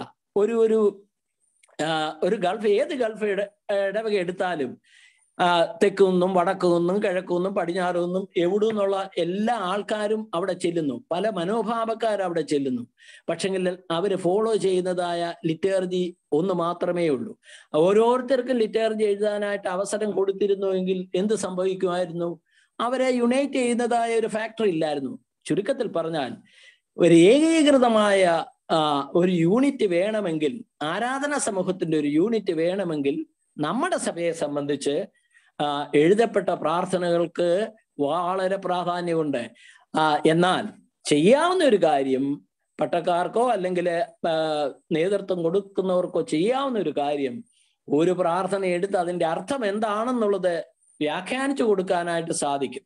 അതുകൊണ്ട് ഈ നമ്മൾ എഴുതി വെച്ച പ്രാർത്ഥന മാറ്റി മാറ്റിക്കളഞ്ഞേച്ച് ആ, പിന്നെ വളരെ ഫ്രീ വർഷിപ്പ് ഇങ്ങനത്തെ ഒന്നുമില്ല എന്ന് പറഞ്ഞ് ആരാധ ആരാധന നടത്തിയാൽ പിന്നെ സംഭവിക്കാൻ പോകുന്നത് സഭയുടെ ഒരു ഒരു സ്പിരിച്വൽ യൂണിറ്റ് തന്നെ നഷ്ടപ്പെടും. അതുകൊണ്ട് എഴുതി വെച്ച പ്രാർത്ഥനകളെ കുറിച്ച് നമുക്കുള്ള ചില മുൻവിധികൾ മാറ്റണം എന്നാണ് എന്റെ അഭിപ്രായം. ജോസഫ് മാത്യങ്ങൾ ജോസഫ് മാത്യങ്ങൾ ഞങ്ങളെ അൺമ്യൂട്ട് ചെയ്യാം ഞങ്ങളെ മ്യൂട്ട് ചെയ്തേക്കാം. ഹലോ അൺമ്യൂട്ട് ചെയ്തു? കേൾക്കാമോ കേൾക്കാം. അച്ഛോ ഞാൻ അച്ഛൻ അച്ഛന്റെ പ്രായക്കാരനോ അതിലും സീനിയറോ ഒരാളായിരിക്കാം. അപ്പോഴേ അതെ അതെ. ഞാൻ ഞാൻ വളർന്നത് കുലശേഖരം എന്ന് പറയുന്ന സ്ഥലത്താണ്. അതായത് ഓക്കെ. എന്റെ ചെറുപ്പത്തിൽ അവിടെ ഒരു ഇടവക പോലും ഇല്ലായിരുന്നു. ഇടവക എന്ന് പറഞ്ഞാൽ ഒരു കൂടി ഉള്ളായിരുന്നു ഒരച്ഛൻ പോലും ഇല്ലാത്ത സമയമായിരുന്നു. അപ്പൊ അത് കഴിഞ്ഞിട്ട് ഇടവക ഫോം ചെയ്തപ്പോൾ ഇപ്പൊ അച്ഛൻ ഇപ്പൊ റെഫർ ചെയ്ത പോലെ ഈ കെ എം ദാനിയൽ സാറിന്റെ പല നോട്ടിഫിക്കേഷനും ഞങ്ങൾക്ക് കിട്ടുന്നുണ്ടായിരുന്നു. എന്റെ ഫാദറിന് കിട്ടുന്നുണ്ട്. ഒന്ന് അദ്ദേഹം അവിടുത്തെ പള്ളിയുടെ ട്രസ്റ്റി ആയിരുന്നു. വേറെ ഒന്ന് ഓക്കെ. ആ, പ്രിൻസിൽ തോമസ് പി എം തോമസ് അച്ഛന്റെ ബ്രദറാണ് അതുകൊണ്ടാണ് ഇദ്ദേഹത്തിനെ ടാർഗറ്റ് ചെയ്ത് ഇവിടെ ഒത്തിരി പാംഫ്ലെറ്റ് ഇങ്ങനെ വരുമായിരുന്നു. അപ്പൊ അത് കുറച്ച് വായിച്ച് എനിക്ക് കുറച്ചൊക്കെ ഇങ്ങനെ തിങ്ക് ചെയ്യാൻ ശരിയാണോ തെറ്റാണോ അതാണോ ശരി ഇതാണോ ശരി എന്നുള്ള ഒരു വേവറിങ് ഇതുണ്ടായിരുന്നു. ഞങ്ങൾ ഇവിടെ അവിടെ ഒരു ചർച്ച് ഫോം ചെയ്ത് ഇപ്പോഴത്തെ നമ്മുടെ ഇവിടുത്തെ ബിഷപ്പിന്റെ brother elder brother E J George അച്ഛൻ അവിടെ അവിടെ ഫസ്റ്റ് പോസ്റ്റിങ്ങിൽ അവിടെ കുലശേരത്ത് വരുന്നത്. അദ്ദേഹമാണ് ഞങ്ങളെ ആ യൂത്തിനെ എല്ലാം വെച്ചിട്ട് ഞങ്ങളുടെ വിശ്വാസം എല്ലാം ഉറപ്പിച്ച് മർത്തമ സഭയിൽ പല സംഗതികളും പഠിപ്പിച്ച് ഇതാ ആക്കിയത്. അപ്പൊ ഇത് ഇതിന് ഞാൻ പറയാൻ വരുന്നത് ചില സംഗതികൾ. അതായത് ഈ ഈ സഭ ഞങ്ങളെ കുലശേഖരത്തിന് അടുത്ത ഒരു സ്ഥലത്തായിരുന്നു നേരത്തെ താമസിച്ചിരുന്നത്. അപ്പോഴേ എന്റെ ഫാദർ അപ്പച്ച അപ്പ ഫാദറിന്റെ മൂത്ത സഹോദരൻ പി എം തോമസ് അച്ഛൻ ചിലപ്പോൾ ഞങ്ങളെ വിസിറ്റ് ചെയ്യാൻ വരുമ്പോഴോ അതല്ലെങ്കിൽ വേറെ ഏതെങ്കിലും അച്ഛന്മാർ അവിടെ വരുമ്പോഴോ ഞങ്ങൾ അവിടെയുള്ള ക്രിസ്ത്യാനികൾ മൈനോറിറ്റി ആയിരുന്നു. സിറിയൻ ക്രിസ്ത്യൻസ് ഒരു മൈനോറിറ്റി ആയിരുന്നു. ഞങ്ങളെല്ലാം കൂടെ ഒന്നീ സി എസ് ഐ പള്ളി അല്ലെങ്കിൽ വല്ല ഹാളിൽ അവിടെ ഇങ്ങനെ സർവീസ് നടത്തുമായിരുന്നു. അപ്പൊ അതിൽ മിക്കവാറും അവർ രണ്ട് കാൻഡിൽ അവിടെ കത്തിച്ചുകൊണ്ടിരുന്നത് സിംബോളിക് ആയിട്ട് രണ്ട് കാൻഡിൽ വെച്ച് ഒരു ഓൾട്ടറിൽ വെച്ചിട്ട് ചെയ്യും. പിന്നെ അത് കഴിഞ്ഞിട്ട് ഞാൻ പലയിടത്തും കഴിഞ്ഞിട്ട് പല പള്ളികളിലും ആറ് ക്യാൻഡിലാണ് സാധാരണ വെക്കാറുള്ളത്. മൂന്ന് മൂന്നോ ആറായിട്ട്. അപ്പം അതിനുള്ള ഒരു എക്സ്പ്ലനേഷൻ പറയുന്നത് ഇത് നമ്മൾ സിംബോളിക് ആയിട്ട് വെക്കുകയാണ്. ഇത് അതുപോലെ ഞാൻ വേറെ വേറെടുത്ത് വായിക്കാൻ ഇടയായി. പണ്ട് ഈ ക്രിസ്ത്യാനികളുടെ പീഡന സമയത്ത് ഇവർ ഗുഹകളിലും അല്ല ഒളിഞ്ഞ പ്രദേശങ്ങളിലും ഇരുട്ടറകളിലും ഒക്കെയാണ് ശുശ്രൂഷകൾ നടത്തിക്കൊണ്ടിരുന്നത്. അപ്പൊ ആ. സമയത്ത് വെട്ടത്തിന് വേണ്ടിയാണ് ഈ കാൻഡിൽ കത്തിക്കുന്നത്. അതൊരു it is reasonable to think in that lines ഏതായാലും അത് കഴിഞ്ഞിട്ട് രണ്ട് ക്യാൻഡിലുണ്ട് ആറ് ക്യാൻഡിലുണ്ട്. ഈ ഇടയ്ക്ക് ഞാൻ നമ്മുടെ മാർത്തോമ മെത്രാപോലിത്തയുടെ ഒരു സർവീസ് കാണാനിടയായി ഇലന്തൂർ വലിയ പള്ളി. ഈ മാരാമൺ ആറന്മുള ഇലന്തൂർ ഈ ഭാഗങ്ങളൊക്കെയാണല്ലോ മർത്തോമ സഭയുടെ ഒരു മെയിൻ ആയിട്ട് ആ പള്ളിക്ക് ഏകദേശം നൂറ്റി ചില്ലുവാനം വർഷങ്ങളായി. അവിടെ അവിടെ വെച്ചിരിക്കുന്നത് ആ തിരുമേനി സർവീസ് ചെയ്തപ്പോൾ അവിടെ ആറ് ക്യാൻഡിലേ വെച്ചിട്ടുള്ളൂ. ചിലര് ട്വൽവ് ക്യാൻഡിൽ പന്ത്രണ്ട് ക്യാൻഡിലും വേണം പന്ത്രണ്ട് ശിഷ്യന്മാരെ വെക്കണമെന്നും പറയുന്നുണ്ട് അപ്പൊ അതിൽ എന്താണ് സഭയുടെ ഒരു അതിലുള്ള കാഴ്ചപ്പാട് എന്താണ്? യാ. മാർത്തോമ സഭ ഈ കാര്യങ്ങളെക്കുറിച്ച് ഒരിക്കലും ഡോക്മാറ്റിക് അല്ല. മെഴുകുതിരി വേണം ഒരു മതബഹ ആണെങ്കിൽ മെഴുകുതിരി വേണം എന്നുള്ളത് വളരെ അത് നിഷ്കർഷിക്കുന്നുണ്ട് സഭ. അത് എവിടെ എഴുതി വെച്ചിരിക്കുന്നു ചോദിച്ചാൽ എഴുതി എങ്ങും എഴുതി വെച്ചിട്ടില്ല. എന്നാൽ ഈ മധുബഹായിൽ കുരിശ് വേണം മെഴുകുതിരി വേണം. പട്ടക്കാരൻ കുർബാന ചൊല്ലുന്ന സമയത്ത് ആ കയ്യിൽ ധൂപമുണ്ടായിരിക്കണം കാപ്പ ധരിച്ചിരിക്കണം. ഇതൊക്കെ അലിഖിതമായ ചില നിയമങ്ങളാണ് അപ്പോൾ അത് രണ്ടായിരിക്കണമോ ആറായിരിക്കണമോ പന്ത്രണ്ടായിരിക്കണമോ എന്നുള്ളത് സഭ ഒരിക്കലും നിഷ്കർഷിക്കുന്നില്ല. ഞാൻ ഉദാഹരണമായിട്ട് പറഞ്ഞല്ലോ. ഞാൻ പന്ത്രണ്ട് മെഴുകുതിരി കണ്ട് വളർന്ന പുത്തങ്കാവ് ഇടവേ ഇടവകയിൽ നിന്നും പോയ വളർന്നതായ ഒരു വ്യക്തിയാണ് അതായത് വളരെ conservative one of the most conservative parishes ആയിരുന്നു ഈ പുത്തക്കാവ് മതിലകം ആരോഹണം. അപ്പൊ അവിടെ ഒന്ന് പോയ എനിക്ക് കുർബാന ചൊല്ലുന്നതായുള്ള അവസരത്തിൽ ഈ മെഴുകുതിരിയും ധൂപക്കുറ്റിയും ഒന്നുമില്ലാതെ ചൊല്ലുന്നത് വളരെ അസ്വസ്ഥമായിരുന്നു എന്റെ മനസ്സെങ്കിലും. ആ, സാഹചര്യവുമായിട്ട് മാർത്തോമാ സഭയുടെ ഒരു ഒരു ഈത്തോസിൽ തോസിൽ യോജിക്കേണ്ടി വന്നു. അപ്പോൾ ഞാൻ പറഞ്ഞത് മാർത്തോമാ സഭ ഒരിക്കലും ഈ കാര്യത്തെക്കുറിച്ച് രണ്ടാണോ ആറാണോ പന്ത്രണ്ട് ആണോ എന്നുള്ളതിനെ കുറിച്ച് ഡോക്മാറ്റിക് അല്ല രണ്ട് ഉള്ളവരുണ്ട് രണ്ട് മെഴുകുതിരി വെക്കുന്നവരുണ്ട് ആറ് വെക്കുന്നവരുണ്ട് പന്ത്രണ്ട് വെക്കുന്നവരുണ്ട്. അത് ഇടവകയുടെ ഓരോ ഇടവകയുടെയും സാഹചര്യവും അവിടുത്തെ പതിവും അനുസരിച്ച് അല്ലെങ്കിൽ അവിടെ നേതൃത്വം കൊടുക്കുന്ന വികാരിമാരെയും ആശ്രയിച്ചിരിക്കും. അപ്പോൾ ചിലയിടത്ത് രണ്ട് മെഴുകുതിരി ആയപ്പോൾ ചിലയിടത്ത് ചെന്നപ്പോൾ ആ ചില അച്ഛന്മാര് നേതൃത്വം കൊടുത്ത് പന്ത്രണ്ടാക്കി പന്ത്രണ്ടാക്കി കാണും. അതിനെക്കുറിച്ച് ചിലര് പരാതി പറയും ചില ഇടവകളിൽ ചില സംബന്ധ ഇടവകയെ സംബന്ധിച്ച് അവർക്ക് അതൊന്നും പ്രശ്നമല്ല. രണ്ട് വെക്കുവോ പന്ത്രണ്ട് വെക്കുവോ പതിനഞ്ച് വെക്കുവോ എത്ര വേണേലും വെച്ചോ അവർക്ക് പ്രശ്നമല്ല. അപ്പോൾ ഞാൻ പറയാൻ വന്നത് മാർത്തോമ സഭ ഈ ഈ കാര്യത്തിൽ എണ്ണത്തെ കുറിച്ച് ഡോക്മാറ്റിക് അല്ല.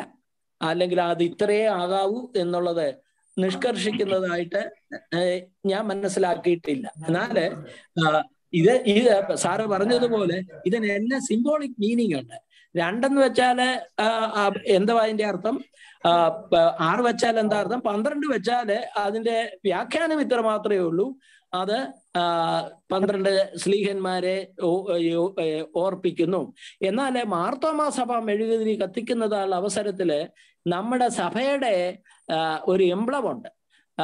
പ്രത്യേകിച്ച് യുഹനോൻ തിരുമേനിയുടെ സമയത്തിന് ശേഷമാണ് ലൈറ്റ് ടു ലൈറ്റൻ പ്രകാശം കൊടുക്കാനായിട്ട് പ്രകാശിതരായിരിക്കുന്നു എന്നുള്ളത്. അതുകൊണ്ട് പന്ത്രണ്ട് ശിഷ്യന്മാരാണോ ആറ് ശിഷ്യന്മാരാണോ രണ്ട് ശിഷ്യന്മാരാണോ എന്നതിൽ കവിഞ്ഞ് ഈ മാർത്തോമാ സഭ ഈ ലോകത്തിന് വേണ്ടിയുള്ള എരിയുന്ന ഒരു മെഴുകുതിര ആയിരിക്കണം എന്നുള്ളതായ ആ ദർശനം കൊടുക്കാനും ആ വ്യാഖ്യാനം കൊടുക്കാനും ഒരു ആരാധനാ സമൂഹം അവർ കാണുകയും കേൾക്കുകയും രുചിക്കുകയും മണക്കുകയും ചെയ്യുന്നതായ കാര്യങ്ങൾ കൂടെ ഇടയായിട്ട് തീരും.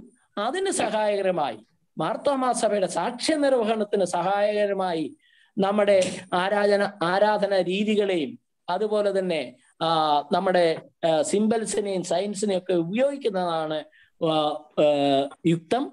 അല്ലാതെ നമ്മൾ ഈ ഈ രണ്ടാണോ പന്ത്രണ്ടാണോ ആറാണോ എന്ന് പറഞ്ഞ് കലഹിക്കുന്നതിന് പകരം സുവിശേഷ വേലയെക്കുറിച്ചുള്ളതായ ദർശനം ലോകത്തെക്കുറിച്ചുള്ള ദർശനം കർത്താവ് നമ്മളെ എന്ത് ഏൽപ്പിച്ചിരിക്കുന്നു എന്നുള്ളതിനെ കുറിച്ചുള്ള ദർശനമാണ് നമുക്ക് ആവശ്യമായിരിക്കുന്നത് എന്നതാണ് എന്റെ ബോധ്യം. എനിക്ക് ഒരു ക്വസ്റ്റ്യൻ അച്ഛൻ അച്ഛൻ പറഞ്ഞതിനോട് ചേർന്ന് ഒരു കാര്യം പറയാം. അച്ഛൻ ഡോക്മാറ്റിക് അല്ല എന്ന് പറഞ്ഞത് ഇപ്പോൾ ഒരു പള്ളി ചെല്ലുമ്പോൾ രണ്ട് മെഴുതിരി ഉള്ളൂ. എന്നുള്ളത് കൊണ്ട് ഞാൻ കുർബാന ചൊല്ലാതിരിക്കുകയില്ല. എന്ന അതാണ് അച്ഛൻ ഡോക്മാറ്റിക് കൊണ്ട് ഉദ്ദേശിച്ചത് ഞാൻ മനസ്സിലാക്കുന്നത്. എന്നാൽ നമ്മുടെ സഭയിലെ ഇപ്പോൾ ത്രോണോസ്. ത്രോണോസിന് നമുക്കൊരു അളവുണ്ട്. ത്രോണോസിൽ എത്ര പടികളുണ്ട് അതിന് അളവുണ്ട്. എന്നാൽ ചില ചില സമയങ്ങളിൽ ഇങ്ങനെയുള്ള കാര്യങ്ങൾ നാം ശ്രദ്ധിക്കാതെ പോയിട്ടുണ്ട്. അതെ. അപ്പോൾ ഇപ്പൊ എന്റെ പള്ളിയിൽ തന്നെ ത്രോണോസ് അതിലെ പടികളും സാധാരണ മധുബഹായിലെ ത്രോണോസിന്റെ പടികൾ മാതിരി അല്ലായിരുന്നു. അപ്പോൾ അത് ആ കാലഘട്ടത്തിൽ അങ്ങനെ ചെയ്തു. എന്നാൽ ഇപ്പോൾ അത് മർത്തോമ സഭയുടെ ഒരു ത്രോണോസ് മാതിരിയാണ് അത് ചെയ്തിരിക്കുന്നത്. അപ്പോൾ ജോസഫ്.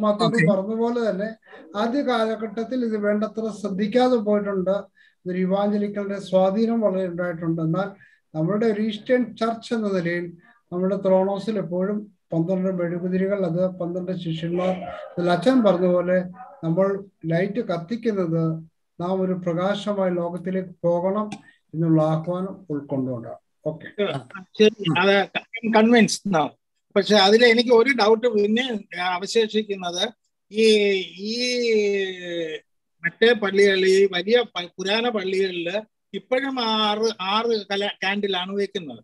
തന്നെയുമല്ല ഈ ഈ ഡോക്യുമെന്റേഷൻ എവിടെയാണ് ഉള്ളതെന്നോ എന്റെ എനിക്ക് ഇതുവരെ അറിവില്ല. അതിനെപ്പറ്റി ഒന്ന് തന്നാൽ അതായത് അച്ഛൻ പറഞ്ഞതുപോലെ ഇതിന് ഇതിന് ഡോക്യുമെന്റുകൾ സഭയ്ക്ക് പലയിടത്തും സൂക്ഷിച്ചു വെച്ചിട്ടില്ല എന്നുള്ളതുണ്ട് പല കാര്യങ്ങളിലും. ഇപ്പോൾ കുപ്പായം തന്നെ. അച്ഛന്മാർക്ക് പണ്ടുള്ള അച്ഛന്മാർക്ക് കറുത്ത കുപ്പായവും തൊപ്പിയും ഒക്കെ ഉണ്ടായിരുന്നു. ഇപ്പോഴും മർത്തോമ സഭയിൽ പല പള്ളികളിലും അച്ഛന്മാർ കറുത്ത കുപ്പായം ഉപയോഗിക്കുന്നുണ്ട്. എന്നാൽ ഇപ്പോൾ എന്നാൽ ഇടയ്ക്ക് ഒരു പുറം കുപ്പായം നമ്മുടെ തിരുമേനി സിനഡ് ഉളവാക്കിയിട്ടുണ്ട് അപ്പോൾ ഇങ്ങനെയുള്ള പല കാര്യങ്ങൾക്കും നമുക്ക് ചില കാര്യങ്ങൾ കൈമോശം വന്നിട്ടുണ്ട് എന്നുള്ളതാണ്. അച്ഛനോട്. അച്ഛൻ. അത് അത് അച്ഛാ അത് അച്ഛൻ പറഞ്ഞ പോലെ പിന്നെ തോമസ് തോമസ് മാത്യു സാർ. ആളുകൾക്ക് വല്ലതും ചോദിക്കാനുണ്ടെങ്കിൽ ചോദിക്കട്ടെ. എനിക്ക് ടൈം ഉണ്ടെങ്കിൽ എനിക്ക് ഒരു ക്വസ്റ്റ്യൻ കൂടെ ചോദിക്കാണ് വേറെ ആർക്കും ചോദിക്കാം. എബ്രഹാം മാത്യു അങ്കിളിൽ എന്തൊരു ചോദ്യം ഉണ്ടെന്നോ എന്തൊരു ചോദിച്ചത് നിങ്ങൾ മ്യൂട്ടാ. ബ്രഹ്മത്യങ്ങൾ ആ, അച്ഛാ ഈ.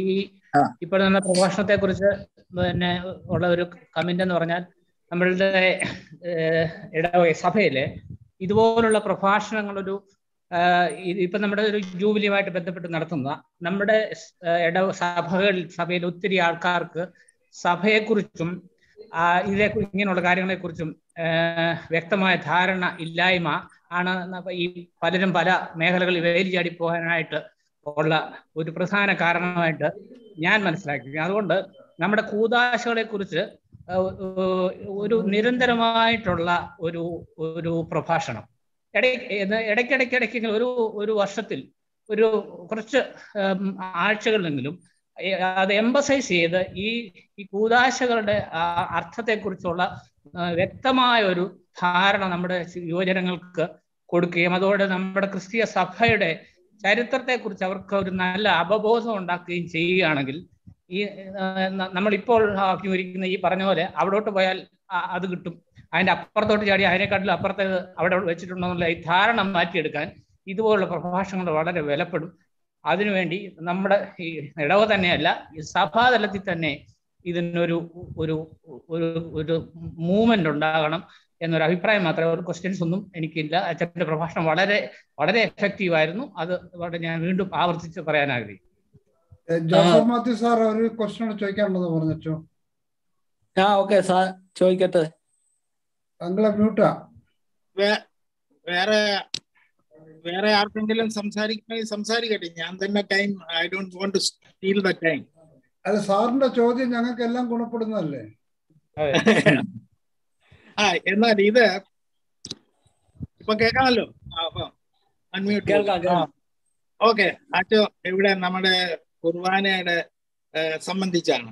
അച്ഛൻ ഇപ്പൊ പറഞ്ഞില്ലേ നമ്മുടെ ഇത് ജേക്കബൈറ്റ് ലിറ്ററർജി വെച്ചിട്ടാണ് നമ്മൾ ചെയ്യുന്നത്.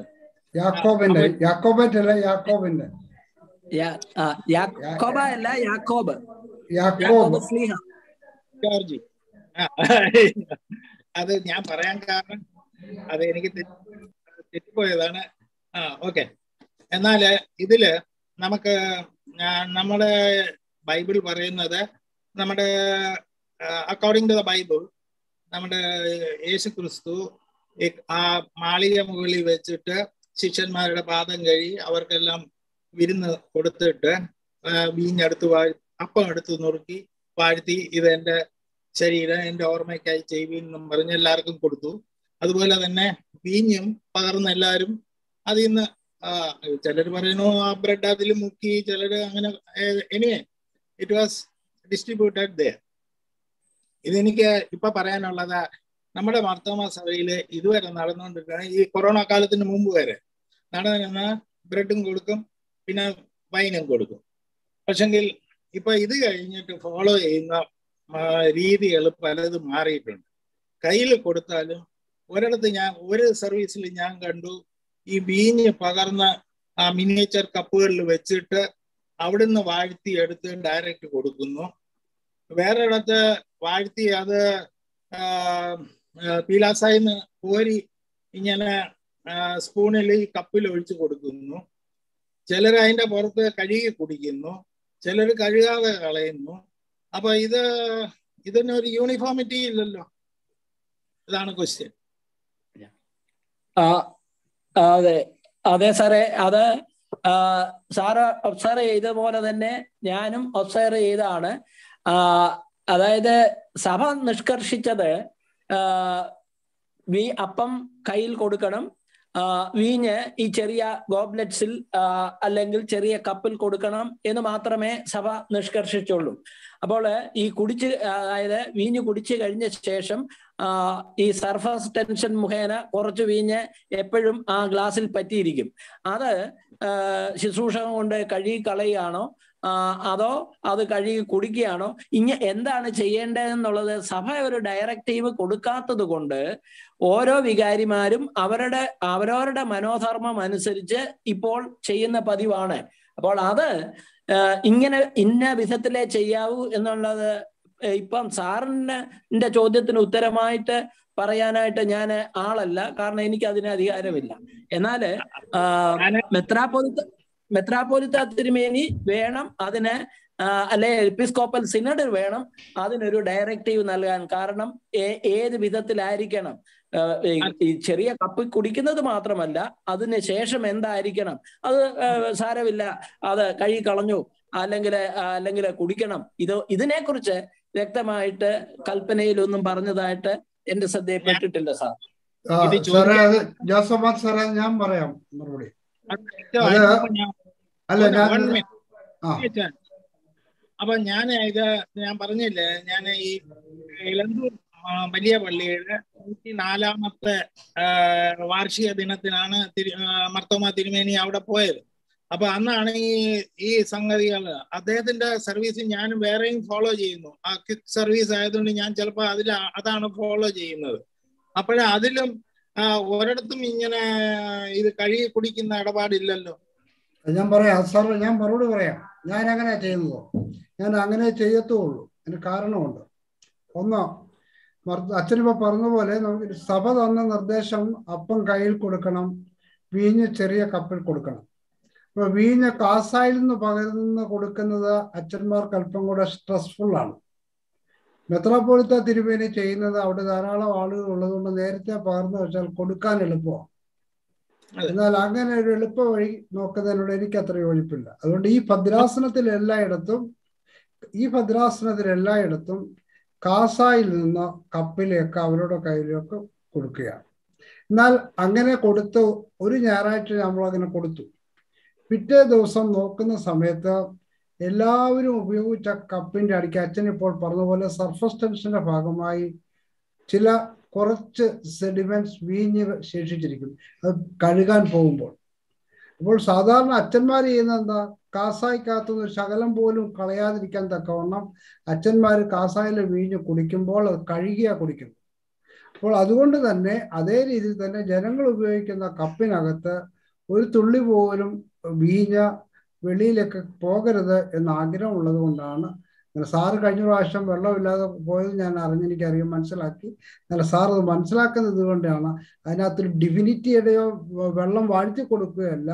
സാറിന് തന്ന കപ്പിന്റെ അകത്ത് വീഞ്ഞ് നഷ്ടപ്പെടുത്തുന്നത് ശരിയായ രീതിയല്ല എന്നുള്ളതുകൊണ്ട് അത് അത് ഇൻഫോഴ്സ് ചെയ്യണോ അച്ഛോ അത് ഓരോരുത്തരുടെ വിശ്വാസമല്ലേ അച്ഛൻ അല്ല. അങ്ങനെ വിശ്വസി അല്ലല്ല എനിക്ക് അതല്ലല്ല അതല്ല വിശ്വാസമാണെങ്കിൽ പോലും സാറിന്റെ അല്ല സാറിന്റെ കൈ കൈ തരുന്ന അപ്പം താഴെ പോയാൽ എനിക്ക് വിഷമമാണ്. സാറിന് തരുന്ന വീഞ്ഞ് താഴെ പോയാൽ വിഷമമാണ്. ഇപ്പോൾ സാറിന് തരുന്ന കപ്പിനകത്ത് സാറ് പകുതിയെ കുടിച്ചിട്ട് അവിടെ വെച്ചിട്ട് പോയാൽ വിഷമമാണ്. സാറിന് കിട്ടിയത് ആ വീഞ്ഞിനകത്ത് ഒഴിച്ചു തരുന്ന വീഞ്ഞ് സാറ് മൊത്തം കൺസ്യൂം ചെയ്യണം. അതാ. Okay. Crystal. In the interest of time, we're now stopping the Q&A session here. ഒരു ഒരു ഒരു കാര്യം കൂടെ എനിക്ക് പറയാനായിട്ടുണ്ട് അതൊന്ന് പറഞ്ഞോട്ടെ അച്ഛാ പ്ലീസ്? പ്ലീസ് പ്ലീസ് അതായത് ജോസഫ് മാത്യു സാറ് പ- സംസാരിക്കുന്നതിന് മുൻപേ വേറൊരു സാറ് സംസാരിച്ചായിരുന്നില്ല എനിക്ക് ചോദ്യമൊന്നുമില്ല എന്ന് പറഞ്ഞ് അദ്ദേഹം ഒരു കാര്യം പറഞ്ഞായിരുന്നല്ലോ അപ്പം I didn't I didn't want to blow trumpet for myself അച്ഛൻ പറഞ്ഞതുപോലെ ഈ കൊറോണ കാലം ആരംഭിച്ചത് മുതൽ അല്ലെങ്കിൽ അതിന് ജസ്റ്റ് മുൻപായിട്ട് ദിവ്യമന്ന സീരീസിൽ ഞാൻ ഒരു സീരീസ് ഓഫ് വീഡിയോസ് ചെയ്തിട്ടുണ്ട്. നമ്മുടെ സഭാ അംഗങ്ങൾ പ്രാഥമികമായി അറിഞ്ഞിരിക്കേണ്ടതായ കാര്യങ്ങൾ. ഇപ്പോൾ ആ സാറ് പറഞ്ഞ പോലെ പ്രാഥമികമായി അറിഞ്ഞിരിക്കേണ്ടതായ കാര്യങ്ങൾ. ഒരു പള്ളി കിഴക്ക് പടിഞ്ഞാറ് പണിയുന്ന എന്തിന്? അല്ലെങ്കിൽ പള്ളിയിലെ അച്ഛൻ ഇപ്പം പറഞ്ഞതുപോലെ ഈ മൂന്ന് സ്റ്റെപ്സിന്റെ പ്രാധാന്യം എന്താണ്? അല്ലെങ്കിൽ ത്രോണോസിന്റെ മൂന്ന് മൂന്ന് ഭാഗങ്ങൾ ഏതെല്ലാമാണ് ഇങ്ങനെയുള്ള ഈ സാധാരണ നമ്മൾ കേൾക്കാത്തതും ആരും പറഞ്ഞു തരാത്തതുമായ കാര്യങ്ങളാണ് അതിനകത്തുള്ളത്. അതുകൊണ്ട് നിങ്ങൾക്ക് താല്പര്യമുണ്ട് സമയമുണ്ട് ഇഷ്ടമുണ്ട് എങ്കിൽ മലങ്കര ടൈംസിൽ പോയി Divyamanna R C Thomas R C reverend R C Thomas എന്ന് അടിച്ചാൽ പല വീഡിയോകൾ അതിനകത്ത് കാണാനായിട്ട് സാധിക്കും. ഞാനത് പറയാതിരുന്നത് I didn't want to blow trumpet for myself. ഞാൻ എനിക്ക് വേണ്ടി തന്നെ കുഴലൂത്ത് നടത്തുന്നത് ശരിയല്ല. എന്നാൽ സാറ് പറഞ്ഞ സ്ഥിതിക്ക് ഞാൻ അത് ഓർപ്പിക്കുകയാണ്. അത് നിങ്ങൾക്ക് അത് കാണാനായിട്ട് സാധിക്കും. അതുപോലെ തന്നെ പൊരുൾ എന്ന് പറയുന്നതായ ഒരു പഠന പരമ്പരയും ഇപ്പോൾ എല്ലാ ശനിയാഴ്ചയും വൈകിട്ടുണ്ട്. ഇപ്പോൾ എന്റെ ഓർമ്മ ശരിയാണെങ്കിൽ ഒരു പതിനൊന്ന് പൊരുൾ ആയി കഴിഞ്ഞു. മറ്റേതൊരു പത്ത് ഇരുപത്തഞ്ച് ചെറിയ ചെറിയ വീഡിയോകളുണ്ട്. അത് കാണാനായിട്ട് പ്രത്യേകിച്ച് നിങ്ങളെ ക്ഷണിക്കുന്നു. മലങ്കര ടൈംസ്. എന്ന് അടിച്ചാൽ മതി. ദി പൊരുളെന്നോ ആർ സി തോമസ് അച്ഛനെന്നോ ദിവ്യ മന്ന എന്നോ അടിച്ചാൽ അത് ലഭിക്കുന്നതാണ്. താങ്ക് യു താങ്ക് യു അച്ഛൻ. Uh, okay, so as there are so many questions and demands, I'll give you two more minutes. Umanja Jangar and Sony Angur can ask their questions quickly. വളരെ അർത്ഥവത്തായ ഒരു class ആയിരുന്നു പറയാൻ വളരെയധികം സന്തോഷമുണ്ട്. കാരണം മാർത്തോമ സഭയിൽ നടക്കുന്നതായ ആരാധനയും കൂതാശകളുടെയും അർത്ഥവും അന്തസ്സത്തെയൊക്കെ വളരെ വിസ്തരിച്ച് തന്നെ വളരെ വിശദമായി തന്നെ അച്ഛനെ പ്രതിപാദിച്ചു അത് ഞങ്ങൾക്ക് മനസ്സിലാക്കുവാനായിട്ട് കഴിഞ്ഞു എന്നുള്ളത് വളരെ നന്ദിയോടെ ഈ സമയത്ത് അറിയിക്കുന്നതിൽ ഞാൻ ഈ സമയം ഉപകരിക്കട്ടെ അച്ഛാ ഞാൻ Thank you, sir. അച്ഛാ അത് മുമ്പേ ഞാൻ പറയാനായിട്ട് ഉണ്ടായ ഒരു കാരണം എന്ന് പറഞ്ഞാൽ നമ്മുടെ കുർബാന കഴിഞ്ഞിട്ട് നാലാമത്തെ റൂസ്മ പറയുന്നതിന് മുമ്പ് വീട്ടിൽ പിന്നെ അതായത് പിന്നെ നമ്മുടെ പള്ളിയുടെ താഴെ എത്തുന്ന ചില ചില ആൾക്കാരെ ഞാൻ കണ്ടിട്ടുണ്ട്. കാരണം ആ നാലാമത്തെ റൂസ്മയുടെ അർത്ഥം എന്താണെന്ന് പോലും അത് എന്ത് ആ സമാധാനം നൽകുന്ന ആ റൂസ്മായിക്ക് എന്തുമാത്രം പ്രാധാന്യം ഉണ്ടെന്ന് പോലും മനസ്സിലാക്കാതെ പള്ളിയിൽ നിന്ന് ഇറങ്ങി പോകുന്ന ചിലരെ ഞാൻ പള്ളി കണ്ടിട്ടുണ്ട്. അത് കണ്ടപ്പോൾ കാണുമ്പോൾ സത്യം പറയാൻ വല്ലാത്ത സങ്കടം തോന്നാറുണ്ട്. അതുകൊണ്ടാണ് ഞാൻ ഇത് പറയുന്നത്. നമ്മുടെ ഈ ഭൂതാശയുടെ പ്രാധാന്യം ഈ ആരാധനയുടെ പ്രാധാന്യത്തെക്കുറിച്ച് നമ്മുടെ തലമുറകളെ ബോധ്യപ്പെടുത്തിയില്ലെങ്കിൽ നമ്മുടെ തലമു നമ്മുടെ സഭ എങ്ങോട്ട് പോകുന്നുള്ളൂ എന്നുള്ളത് പലപ്പോഴും നമ്മൾ പ്രയാസപ്പെട്ടു പോയിട്ടുണ്ട്. അതുകൊണ്ടാണ് ഞാൻ ഇത് പറയാൻ കാരണം. Thank Yeah, you. God- thank you. Yeah, God bless you, sir. Crystal This will be the last question, Sony Angur. Thank you മോളെ അച്ഛൻ ഞാൻ ഈ കെൻ ഡാനിയൽ സാറിന്റെ പേര് വന്നതുകൊണ്ട് പറയാണ് ആ ഇൻഫ്ലുവൻസും അതേപോലുള്ള സിമിലർ ഇൻഫ്ലുവൻസും ഒരുപക്ഷെ എനിക്ക് മുമ്പുള്ള ജനറേഷനിൽ ഉണ്ടായിട്ടുണ്ട് അത് താഴോട്ട് പാർന്നു പോയിട്ടുമുണ്ട് ഓക്കെ എസ്റ്റാബ്ലിഷിന്റെ ഭാഗമായിട്ട് അച്ഛൻ നിൽക്കുന്നതുകൊണ്ട് ഒരുപക്ഷെ സെമിനാരികളിൽ അച്ഛന്മാരുടെയൊക്കെ പറഞ്ഞ് അത് തിരുത്തുന്നുണ്ടായിരിക്കാം. പക്ഷെ എത്രത്തോളം ഞങ്ങൾ കിട്ടുന്നുണ്ടെന്നുള്ളതിന്റെ ഒരു ഒരു പ്രശ്നമുണ്ട്. അത് സൺഡേ സ്കൂൾ കരിക്കുലത്തിൽ ഉൾപ്പെടുത്തിയാൽ ഇച്ചിരൂടെ എഫക്റ്റീവ് ആകില്ലേ? അച്ഛൻ എസ്റ്റാബ്ലിഷിന്റെ ഭാഗമായതുകൊണ്ട് ഞാൻ ചോദിച്ചതേ ഉള്ളൂ. യാ സാറേ അത് സൺഡേ സ്കൂൾ കരിക്കുലത്തിൽ ഉൾപ്പെടുത്തിയാലും ഇല്ലെങ്കിലും എന്റെ പ്രാഥമികമായ എംഫസിസ് എന്ന് പറഞ്ഞാൽ ഇത് ഭവനത്തിൽ മാതാപിതാക്കന്മാരെ ബോധവാന്മാരും ബോധവതികളുമായി തീർന്ന് അവിടെ കുഞ്ഞുങ്ങളുമായിട്ട് ഇതൊന്ന് ഡിസ്കസ് ചെയ്യുകയും ഇതിന്റെ പ്രാധാന്യത്തെക്കുറിച്ച് പറയുകയും ചെയ്യാൻ തക്കവണ്ണം മാതാപിതാക്കന്മാരെ സജ്ജമാക്കാനായിട്ടുള്ള ഒരു പാഠ്യപദ്ധതി ഉണ്ടാകണം. അപ്പോൾ ഞാൻ അതുകൊണ്ട് സാറ് ഞാൻ മുമ്പേ പറഞ്ഞത്. ഇപ്പം സാറ് പറയും ഇതിനെക്കുറിച്ച് എനിക്ക് കൂടുതലൊന്നും അറിയത്തില്ലല്ലോ ഇല്ല ഇല്ലല്ലോ അല്ലെങ്കിൽ അറിയ അറിവില്ലല്ലോ എന്ന്. അതിന്റെ രേഖ അതിന് ആധാരമായ പുസ്തകങ്ങളൊന്നും ഇല്ലല്ലോ. പോകട്ടെ. അത് ഈ ഞാൻ ഇട്ട വീഡിയോകളെ ഒരു പക്ഷെങ്കിൽ കുഞ്ഞുങ്ങൾക്ക് മനസ്സിലാകുകയില്ലായിരിക്കും. എനിക്ക് പറയാനായിട്ടുള്ളത് കുറഞ്ഞ പക്ഷം മാതാപിതാക്കന്മാർ അത് കണ്ടിട്ട് നമ്മുടെ പള്ളിയിൽ കുരിശ് വരയ്ക്കുന്ന എന്തിനാണ്?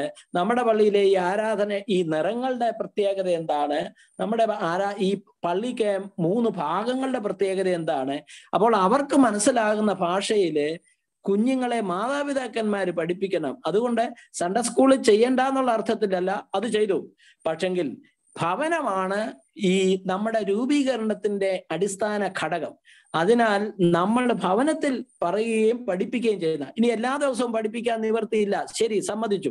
അതിന് സമയമില്ല. എന്നാൽ കുറഞ്ഞ പക്ഷം ശനിയാഴ്ച വൈകിട്ടെങ്കിലും കുഞ്ഞുങ്ങളോട് ഈ ഒരു പതിനഞ്ച് മിനിറ്റ് നേരം ഈ കുഞ്ഞുങ്ങളോട് അല്ലെ ഒരു ഇരുപത് മിനിറ്റ് നേരം കൂടുതൽ അവരോട് പറയണ്ട. അത് പറയ പഠിപ്പിക്കാനായിട്ട് സാധിക്കുമോ? സാർ പറഞ്ഞ ഞാൻ സമ്മതിക്കുന്നു. സൺഡേ സ്കൂളിലെ പാഠ്യപദ്ധതിയുടെ ഭാഗമാകണം യാതൊരു സംശയവുമില്ല. എന്നാൽ സൺഡേ സ്കൂൾ പോലെ തന്നെ അല്ലെങ്കിൽ അതിനേക്കാൾ പ്രാധാന്യം ഭവനത്തിനാണ് എന്നുള്ളത് നമ്മൾ മറക്കരുത് എന്നുള്ളതും ഞാൻ സ്നേഹത്തോടെ ഓർപ്പിക്കും. അച്ഛന്റെ ക്ലാസ്സുകൾ വളരെ നല്ലതായിരുന്നു. സോണി പറഞ്ഞ ചോദ്യം വളരെ അർത്ഥവത്താണ്. എന്നാൽ ഈ കാലഘട്ടത്തിൽ ഇപ്പൊ നമ്മുടെ സെൻട്രൽ സ്കൂളിലൊക്കെ ലിറ്റോർജിക്കൽ മ്യൂസിക് പഠിക്കുവാനായിട്ട് ശ്രമിക്കുന്നുണ്ട്. അതിന്റെതായ ഇമ്പോർട്ടൻസ് ഇപ്പോൾ നമ്മുടെ കോയറിലും ഒക്കെ അത് അനുഭവിക്കുന്നുണ്ട്. ലിറ്റോർജിക്കൽ മ്യൂസിക്കും അതിന്റെ അർത്ഥവുമൊക്കെ. എന്നാൽ അച്ഛൻ നമ്മെ ഓർമ്മിപ്പിച്ച പോലെ പണ്ടത്തെ നമ്മുടെ ട്രഡീഷൻ ആയിരുന്നു ശനിയാഴ്ച വൈകിട്ട് നമ്മൾ ഒരുങ്ങുകയാണ്. പിറ്റേ ദിവസത്തെ കുർബാനയ്ക്ക് വേണ്ടി. അപ്പനും മക്കളും ഒക്കെ അതിനുവേണ്ടി ഒരുങ്ങുകയാണ്. എന്നാൽ അങ്ങനെയുള്ള ഒരു ഒരുക്കം ഇപ്പോൾ നമുക്കില്ല എന്നുള്ളൊരു സത്യമാണ്. രാവിലെ ഉണരുകയാണെങ്കിൽ പള്ളി പോകും. രാത്രി കിടക്കുമ്പോൾ തന്നെ നമ്മൾ നാളെ ഏഴരയ്ക്ക് സർവീസിനാണോ പത്തരയ്ക്കാണോ പോകുന്നത്? മാതാപിതാക്കൾ അതനുസരിച്ച് ഭക്ഷണം ക്രമീകരിക്കണം ഇതെല്ലാം ക്രമീകരിക്കണം. അപ്പൊ ആ ഒരു പ്രിപ്പറേഷൻ നമ്മുടെ ഭവനത്തിൽ പോകണം രാവിലെ എഴുന്നേൽക്കുമ്പോൾ ഉണർന്നവരെല്ലാവരും കൂടെ പോവുകയല്ല രാത്രിയിൽ കിടക്കുന്നതിന് മുമ്പ് തന്നെ പ്രാർത്ഥനയോടുകൂടി കുർബാനയ്ക്ക് വേണ്ടി ഒരുങ്ങി ഉറങ്ങുവാനായിട്ടും അങ്ങനെയുള്ള ഒരു കുടുംബങ്ങൾക്കും സഭയ്ക്കും മാത്രമേ ഈ കാലഘട്ടത്തിൽ നിലനിൽപ്പുള്ളൂ എന്ന് പറയും. ഇന്ന് രാവിലെ ഇന്നിപ്പോൾ നമ്മുടെ യുഹാനൻ മർത്തോമായുടെ ലെക്ചറായിരുന്നു തിരുമേനി ഇപ്പൊ അച്ഛൻ ഓർമ്മിപ്പിച്ച പോലെ തിരുമേനിയുടെ പ്രസംഗത്തിൽ പറയുന്ന തിരുമേനി മേൽപ്പട്ടക്കാരനായിരുന്ന സമയത്ത് രാത്രികാലങ്ങൾ ഉറങ്ങാത്ത രാത്രികളായിരുന്നു അവർ കാരണം മലങ്കര സഭയുടെ സ്വത്വം നഷ്ടപ്പെട്ടു പോകാതിരിക്കാൻ തക്കവണ്ണം.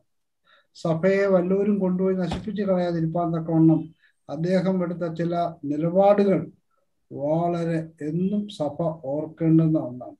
ഇതോടൊപ്പം തന്നെ സിറിയക് തോമസ് സാർ പറയായിരുന്നു പാലാ ബിഷപ്പ് ചെയ്ത പ്രസംഗത്തെ പറ്റി. അപ്പൊ അദ്ദേഹം പറഞ്ഞത് ആ ബിഷപ്പിന്റെ സങ്കടമാണ് അത് പറഞ്ഞത്. അപ്പോൾ നമ്മുടെ കുഞ്ഞുങ്ങളെ പറ്റിയും കുടുംബത്തെ പറ്റിയും ഒക്കെ ഒരുക്കത്തോടുകൂടി ആരാധനയിൽ പങ്കെടുക്കുവാനായിട്ട് നമുക്ക് സാധിക്കണം.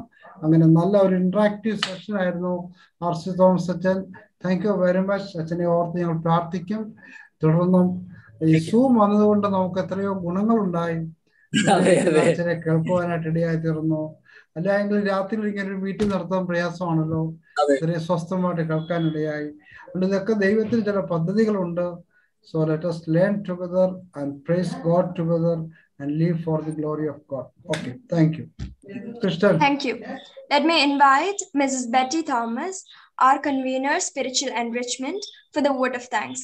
Over to you, Betty Andy.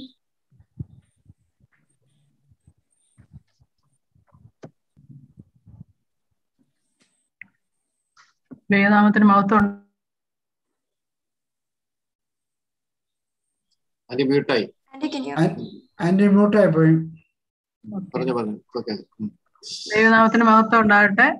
ബഹുമാനപ്പെട്ട റെവറൻ ഡോക്ടർ ആസി തോമസ് അച്ഛൻ ദാനിയൽ വർഗീസ് അച്ഛൻ വന്നുകൂടിയിരിക്കുന്ന എല്ലാവർക്കും എല്ലാവർക്കും ക്രിസ്തുവേസിൽ എന്റെ സ്നേഹവന്ദനം. ഈ പാൻഡമിക് സിറ്റുവേഷനിലും ജൂബിലിയോട് ചേർന്ന് നമുക്ക് ഇങ്ങനെ ഒരു ട്രെയിനിങ് ക്രമീകരി ക്രമീകരിക്കുവാൻ സ്വർഗത്തിലെ ദൈവം നമ്മെ അനുഗ്രഹിച്ചതിനായിട്ട് ദൈവത്തെ നമുക്ക് സ്തോത്രം ചെയ്യാം. ഈ സൂം പ്ലാറ്റ്ഫോമിൽ വന്നുകൊണ്ടിരിക്കുന്ന എല്ലാവർക്കും നന്ദി പറയുക എന്ന കർത്തവ്യമാണ് എനിക്ക് നൽകിയിരിക്കുന്നത്. അതിലേക്ക് ഞാൻ പ്രവേശിച്ചു കൊള്ളട്ടെ. ഇന്നത്തെ മീറ്റിംഗിന്റെ അധ്യക്ഷ പദം അലങ്കരിക്കുന്നത് നമ്മുടെ ഇടവ വികാരിയായ ദാനിയൽ വർഗീസ് അച്ഛനാണല്ലോ. ജൂബിലിയോട് ചേർന്ന് ഇങ്ങനെ ഒരു ട്രെയിനിങ് സെഷൻ നടത്തുവാൻ ആഗ്രഹിച്ചപ്പോൾ അതിന് വേണ്ടുന്ന എല്ലാ കൈത്താങ്ങലുകളും പ്രോത്സാഹനവും തന്ന് സഹായിച്ച അച്ഛനോടുള്ള നന്ദി സ്നേഹവും ഈ സമയത്ത് അറിയിച്ചു കൊള്ളട്ടെ. ഈ ജൂബിലി വർഷത്തിൽ ട്രെയിനിങ് സെഷൻ നടത്തുവാൻ പന്ത്രണ്ട് മാസവും പന്ത്രണ്ട് ടോപ്പിക്കും അതുപോലെ അതിന് വേണ്ടുന്ന പ്രാസംഗേരിയും അറേഞ്ച് ചെയ്തു തന്ന very reverend doctor K G Pothan അച്ഛനുള്ള നന്ദിയും സ്നേഹവും അറിയിച്ചുകൊള്ളുന്നു നമ്മുടെ ആരാധനക്രമത്തിലെ അനുഗ്രഹ ആരാധനാക്രമങ്ങളെ കുറിച്ചുള്ള അനുഗ്രഹീതമായ അർത്ഥവത്തായ ഒരു ക്ലാസ് എടുത്ത് നമ്മെ സഹായിച്ച reverend doctor R C Thomas അച്ഛനുള്ള നന്ദി. ഈ സമയം അറിയിക്കുന്നു. ആരാധന എന്താണ് നമ്മുടെ വിശ്വാസത്തെ നമ്മൾ ദൈവത്തിന് നന്ദി പറയുന്നതാണ്. ആരാധനയിലൂടെ നമ്മൾ ദൈവത്തെ ദൈവത്തിന് നമ്മൾ നന്ദി പറയുന്നു. നമ്മളെ ഒരു കൺഫെഷന്റെ കമ്മിറ്റ്മെന്റിന്റെ ഒരു സമയമാകുന്നത്. അത് നമ്മുടെ നിത്യതയെ കുറിച്ചുള്ള ഒരു ഉറപ്പാകുന്നു ആരാധന. നമ്മുടെ വിശ്വാസത്തെ വർദ്ധിപ്പിക്കുന്നതും നമ്മുടെ ഈ ലോകത്തിലെ ദൗത്യം എന്താണ് നമ്മളെ ഓർപ്പിക്കുന്നതുമാണ് ആരാധനക്രമം. അനുഗ്രഹീതമായ ക്ലാസ് ആയിരുന്നു അച്ഛാ. താങ്ക് യു സോ മച്ച് ഒത്തിരി വളരെ ഡീറ്റെയിൽ ആയിട്ട് ഓരോ കാര്യങ്ങളും പറഞ്ഞ് മനസ്സിലാക്കി തന്ന അച്ഛനോട് നന്ദി പറഞ്ഞുകൊള്ളട്ടെ. ജൂബിലിയുടെ എല്ലാ പ്രോഗ്രാമിന്റെയും ചുക്കാൻ പിടിക്കുന്ന ഏത് ആവശ്യത്തിനും നമ്മോടൊപ്പം വളരെ സന്തോഷത്തോടെ സഹായത്തിനായിട്ട് നിൽക്കുന്ന ജനറൽ കൺവീനർ ഉമ്മൻ ജോർജ് അങ്കിളിനോട് നന്ദിയും സ്നേഹം അറിയിക്കട്ടെ. ഈ ഒരു നല്ല കോർഡിനേറ്ററായി പ്രവർത്തിക്കുകയും നമുക്ക് നല്ലൊരു പോസ്റ്റർ ഡിസൈൻ ചെയ്തു തരികയും ചെയ്ത സിബി പള്ളിച്ചെറിയുള്ള നന്ദിയും സ്നേഹവും ഇപ്പോൾ അറിയിക്കട്ടെ. പ്രോഗ്രാമിനെ കുറിച്ച് ഇടവക ജനങ്ങൾക്കും പ്രോഗ്രാം മറ്റു മറ്റെല്ലാ കൺവീനിയേഴ്സിനും തക്ക സമയത്ത് അനൗൺസ് ചെയ്തും മെസ്സേജ് ചെയ്തും നമ്മെ സഹായിച്ച നമ്മുടെ ഇടവക സെക്രട്ടറി എനം വർക്കി അങ്കിളിനോടും എല്ലാ പ്രെയർ ഗ്രൂപ്പ് കൺവീനിയേഴ്സിനോടുള്ള നന്ദിയും സ്നേഹം അറിയിച്ചുകൊള്ളുന്നു. യഹോവ വീട് പണിയായിരുന്നാൽ പണിയുന്നവൻ വൃഥ ജാഗരിക്കുന്നു. നാം എന്തൊക്കെ പ്രോഗ്രാംസ് പ്ലാൻ ചെയ്താലും അത് നിവൃത്തിയാണെങ്കിൽ ദൈവകരം പ്രവർത്തിച്ചേ മതിയാവുള്ളൂ. ദൈവം പ്രവർത്തിക്കാതെ ഒന്നും നമുക്ക് സാധിക്കുകയില്ല.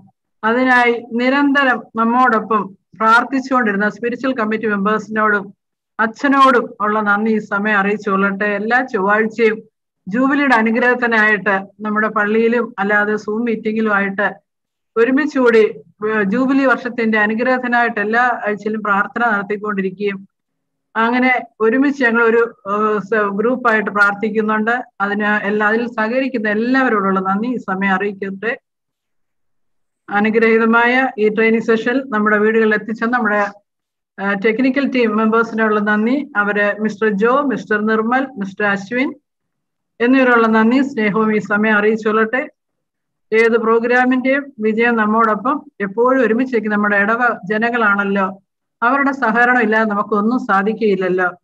അവരാണ് നമ്മുടെ എല്ലാ പ്രോഗ്രാമിന്റെയും വിജയം. ഈ പ്രോഗ്രാമിൽ സഹകരിച്ച എല്ലാ ഇടവ ജനങ്ങളോടും നന്ദി. ഇടവകയുടെ നാമത്തിലും സ്പിരിച്വൽ കമ്മിറ്റിയുടെ നാമത്തിലും ഞാൻ അറിയിച്ചുകൊള്ളട്ടെ. അവസാനമായിട്ട് ഈ പ്രോഗ്രാം മനോഹരമായി ആങ്കർ ചെയ്ത ക്രിസ്റ്റൽ സിബി മോളോട് ഉള്ള നന്ദി. ഈ സമയം അറിയിക്കട്ടെ. ദൈവം മോളെ അനുഗ്രഹിക്കട്ടെ. ഈ കർത്തവ്യത്തിൽ ഞാൻ വരുന്നു Thank you, Betty Andy. We will be closing today's session with a prayer by Mrs. Shobha Joy, followed by the benediction of R.C. Thomas Etchen. ഹാലലിയ സ്തോത്രം കർത്താവേ പരിശുദ്ധ ദൈവമേ സ്വർഗീയ നല്ല പിതാവേ ഈ നല്ല സമയത്തിനായി ഞങ്ങൾ അങ്ങേ സ്തുതിക്കുന്നു സ്തോത്രം ചെയ്യുന്ന പിച്ച ഇന്നത്തെ പ്രഭാതത്തിൽ ആരാധനയ്ക്ക് ശേഷം കർത്താവേ അടിയങ്ങൾക്ക് നിന്റെ സന്നിധിയിൽ ഇരുപ്പാൻ കർത്താവ് തന്ന അവസരത്തിനായി ദൈവത്തെ സ്തുതിക്കുന്നു കർത്താവേ അതാ ജൂബിലിയോട് ബന്ധപ്പെട്ട് ഞങ്ങൾ നടത്തുന്ന ബൈബിൾ സ്റ്റഡിയൊക്കെയായി സ്തോത്രം ചെയ്യുന്നു. ഇന്ന് രണ്ടാമത്തെ മാസത്തിലും കർത്താവെ ഞങ്ങൾക്ക് നിന്റെ വചനത്തെ പഠിക്കുവാൻ ആരാധനയെ കുറിച്ച് പഠിക്കുവാനൊക്കെ ദൈവം തമ്പരാൻ അവസരം ഒരുക്കിയതിനായി ദൈവത്തെ സ്തുതിക്കുന്ന പച്ച അതിനായി ഞങ്ങളുടെ മധ്യത്തിൽ കടന്നു വന്നിരിക്കുന്ന ബഹുമാനപ്പെട്ട അച്ഛനെ ദൈവകരങ്ങളിൽ സമർപ്പിക്കുന്ന കർത്താവെ ഇത്ര ഹൃദ്യമായി ഞങ്ങൾക്ക് കർത്താവെ ഞങ്ങളുടെ അറിവിലില്ലാത്ത പല കാര്യങ്ങളും ഞങ്ങളുടെ അറിവിലേക്ക് പകർന്നു തന്നതിനായി സ്തോത്രം ചെയ്യുന്ന. കർത്താവെ എന്താണ് ലിറ്റർച്ചി എന്ന് ഞങ്ങൾക്ക് ഹൃദ്യമായി ഞങ്ങളോട് പറഞ്ഞു തരികയും കർത്താവെ ആരാധനക്രമവും ബൈബിളുമായി വിശുദ്ധ വേദപുസ്തകവുമായിട്ടുള്ള ബന്ധത്തെക്കുറിച്ച് ഞങ്ങൾ അഭിവേദ്യ ബന്ധമുണ്ടെന്നുള്ളതുമായി ഞങ്ങളോട് അറിയിക്കുകയും ചെയ്ത ബഹുമാനപ്പെട്ട അച്ഛനെ ഓർത്ത് ദൈവത്തെ സ്തുതിക്കുന്നു. ആരാധനയിൽ യേശുക്രിസ്തുവുമായുള്ള യേശുക്രിസ്തുവിലൂടെ ദൈവം നമുക്ക് ചെയ്യുന്ന നന്മകളെ കുറിച്ച് ഓർക്കുന്നതാണ് ആരാധനയെന്നും യഥാർത്ഥ വിശുദ്ധ കുർബാന അനുഷ്ഠിക്കേണ്ടത് നാം എവിടൊക്കെ ആയിരിക്കുന്നു നമ്മുടെ ഇടങ്ങളിലൊക്കെ ദൈവത്തെ സാക്ഷ്യപ്പെടുത്തുന്നതായിരിക്കണം. അതിനേക്കാളൊക്കെ ഉപരി നമ്മുടെ പർപ്പസ് നിത്യതയാണെന്നുമൊക്കെ അച്ഛനിലൂടെ നമുക്ക് കേൾക്കുവാൻ ഇടയായി തീർന്നത് ദൈവത്തെ സ്തുതിക്കുന്നു സ്തോത്രം ചെയ്യുന്നു. എത്രത്തോളം നമ്മളെ ബലപ്പെടുത്തുന്ന ദൈവത്തിനായി ദൈവത്തെ സ്തുതിക്കാം സ്തോത്രം ചെയ്യാം. കൂടി വന്ന എല്ലാവരെയും ദൈവകരങ്ങളിലേക്ക് സമർപ്പിക്കാം. നമ്മുടെ ഇവിടെ മുറ്റുമായി സമർപ്പിക്കാം. ഈ സമയടവകിൽ പ്രയാസത്തിലും വേർപാണ്ട ദുഃഖത്തിലൊക്കെ ഇരിക്കുന്ന ഭവനങ്ങളുണ്ട്. ഇവരൊക്കെ ദൈവകരങ്ങളിൽ സമർപ്പിക്കാം. ഇടവകെ നയിക്കുന്ന അച്ഛനെ കുടുംബമായ ദൈവകരങ്ങളിലേക്ക് ഏൽപ്പിച്ചുകൊണ്ട് നമുക്ക് പ്രാർത്ഥിക്കാം. കർത്താവെ അച്ഛനിലൂടെ നമുക്ക് ലഭിക്കുന്ന എല്ലാ വിധമായ പ്രവർത്തനങ്ങൾക്കായി ദൈവത്തെ സ്തുതിക്കുന്നു സ്തോത്രം ചെയ്യുന്നു. ഈ കൂടി വരും നമ്മുടെ ജീവിതത്തിലൊക്കെ അനുഗ്രഹമായി തീരുവാൻ ദൈവം തമ്പുരാൻ ഇടയാക്കുന്നതിനായി ദൈവത്തെ സ്തുതിക്കുന്നു സ്തോത്രം ചെയ്യുന്നു. കർത്താവെ നമുക്ക് വചനം പറഞ്ഞു തന്ന അച്ഛനെ ഒരിക്കൽ കൂടി സമർപ്പിക്കുന്നു. എന്റെ മകന്റെ എല്ലാ പ്രവർത്തനങ്ങളെ ഓർത്ത് ദൈവത്തെ സ്തുതിക്കുന്നു. തമ്പുരാൻ കൊടുത്തിരിക്കുന്ന ജ്ഞാനവും പരിജ്ഞാനവും ഒക്കെ കർത്താവെ ഇത്രത്തോളം നമുക്ക് പകർന്നു തരുവാൻ ദൈവം തമ്പുരാൻ ഇടയാക്കിയത് ഓർത്ത് ദൈവത്തെ സ്തുതിക്കുന്നു സ്തോത്രം ചെയ്യുന്നു. വിദേശത്തും വിദൂരതയിലും പല ഭവനങ്ങളിലൊക്കെ ഇരുന്നു കൊണ്ട് ഈ വചനത്തെ ശ്രമിച്ച എല്ലാവരെയും ദൈവകാര്യങ്ങളിൽ സമർപ്പിക്കുന്നു. കർത്താവെ ഒരിക്കൽ കൂടി ഇടങ്ങൾ എല്ലാവരെയും താഴ്ത്തി സമർപ്പിച്ചുകൊണ്ട് ദൈവമേ ഞങ്ങളുടെ പ്രാർത്ഥനയെ സ്വർഗം കേൾക്കണമേ. സകലം യേശുക്രിസ്തുവിന്റെ നാമത്തിൽ തന്നെ. സ്വർഗസ്ഥനായ ഞങ്ങളുടെ പിതാവേ തിരുനാമം പരിശുദ്ധമാക്കപ്പെടണമേ നിന്റെ രാജ്യം വരേണമേ. നിന്റെ ഇഷ്ട സ്വർഗത്തിലെ പോലെ ഭൂമിയിലുമാകണമേ ഞങ്ങൾക്ക് ആവശ്യമുള്ള ആഹാരം ഇന്ന് ഞങ്ങൾക്ക് തരണമേ. ഞങ്ങളുടെ കടക്കാരോട് ഞങ്ങൾ ക്ഷമിച്ചിരിക്കുന്ന പോലെ ഞങ്ങളുടെ കടങ്ങളും ദോഷങ്ങളും ഞങ്ങളോട് ക്ഷമിക്കണമേ. പരീക്ഷയിലേക്ക് ഞങ്ങളെ പ്രവേശിപ്പിക്കാതെ ദുഷ്ടനും ഞങ്ങളെ രക്ഷിച്ചു കൊള്ളണമേ. എന്തുകൊണ്ടെന്നാ രാജ്യവും ശക്തിയും മഹത്വവും എന്നേക്കും നിനക്കുള്ളതാകുന്നു. ആമീൻ. പിതാവായ ദൈവത്തിന്റെ സ്നേഹവും ഏകാപുത്രന്റെ കൃപയും പരിശുദ്ധ റൂഹായുടെ നിത്യവും നിരന്തരമാണ് സംസർഗവും സഹവാസവും. പ്രിയരെ നാം ഓർത്ത് പ്രാർത്ഥിച്ച എല്ലാ കാര്യങ്ങളുടെ മേലും ആവശ്യങ്ങളുടെ മേലും വിശേഷാൽ ദാനയിൽ വറീസച്ചനോടും കുടുംബത്തോടും പൈതങ്ങളോടും ഇന്ന് ആരാ ഇന്ന് ഈ വെബിനാറിൽ പങ്കെടുത്തതായ എല്ലാ പ്രിയപ്പെട്ടവരുടെ മേലും വിശേഷാൽ ദുഃഖത്തിലും പ്രയാസത്തിലും വേദനയിലും രോഗത്തിന്റെ അനുഭവത്തിലും ആയിരിക്കുന്ന പ്രിയപ്പെട്ടവരുടെ മേലും ദൂരെയും അടുത്തുമായിരിക്കുന്ന എല്ലാവരുടെ മേലും ഇപ്പോഴും എപ്പോഴും എന്നേക്കും ഉണ്ടായിരിക്കുകയും ചെയ്യുമാറാകട്ടെ. Ami thank you very much much. നാട്ടച്ച thank you thank you thank you bye good night have a nice night. കഞ്ഞി ആച്ചാ കഞ്ഞി Okay. okay.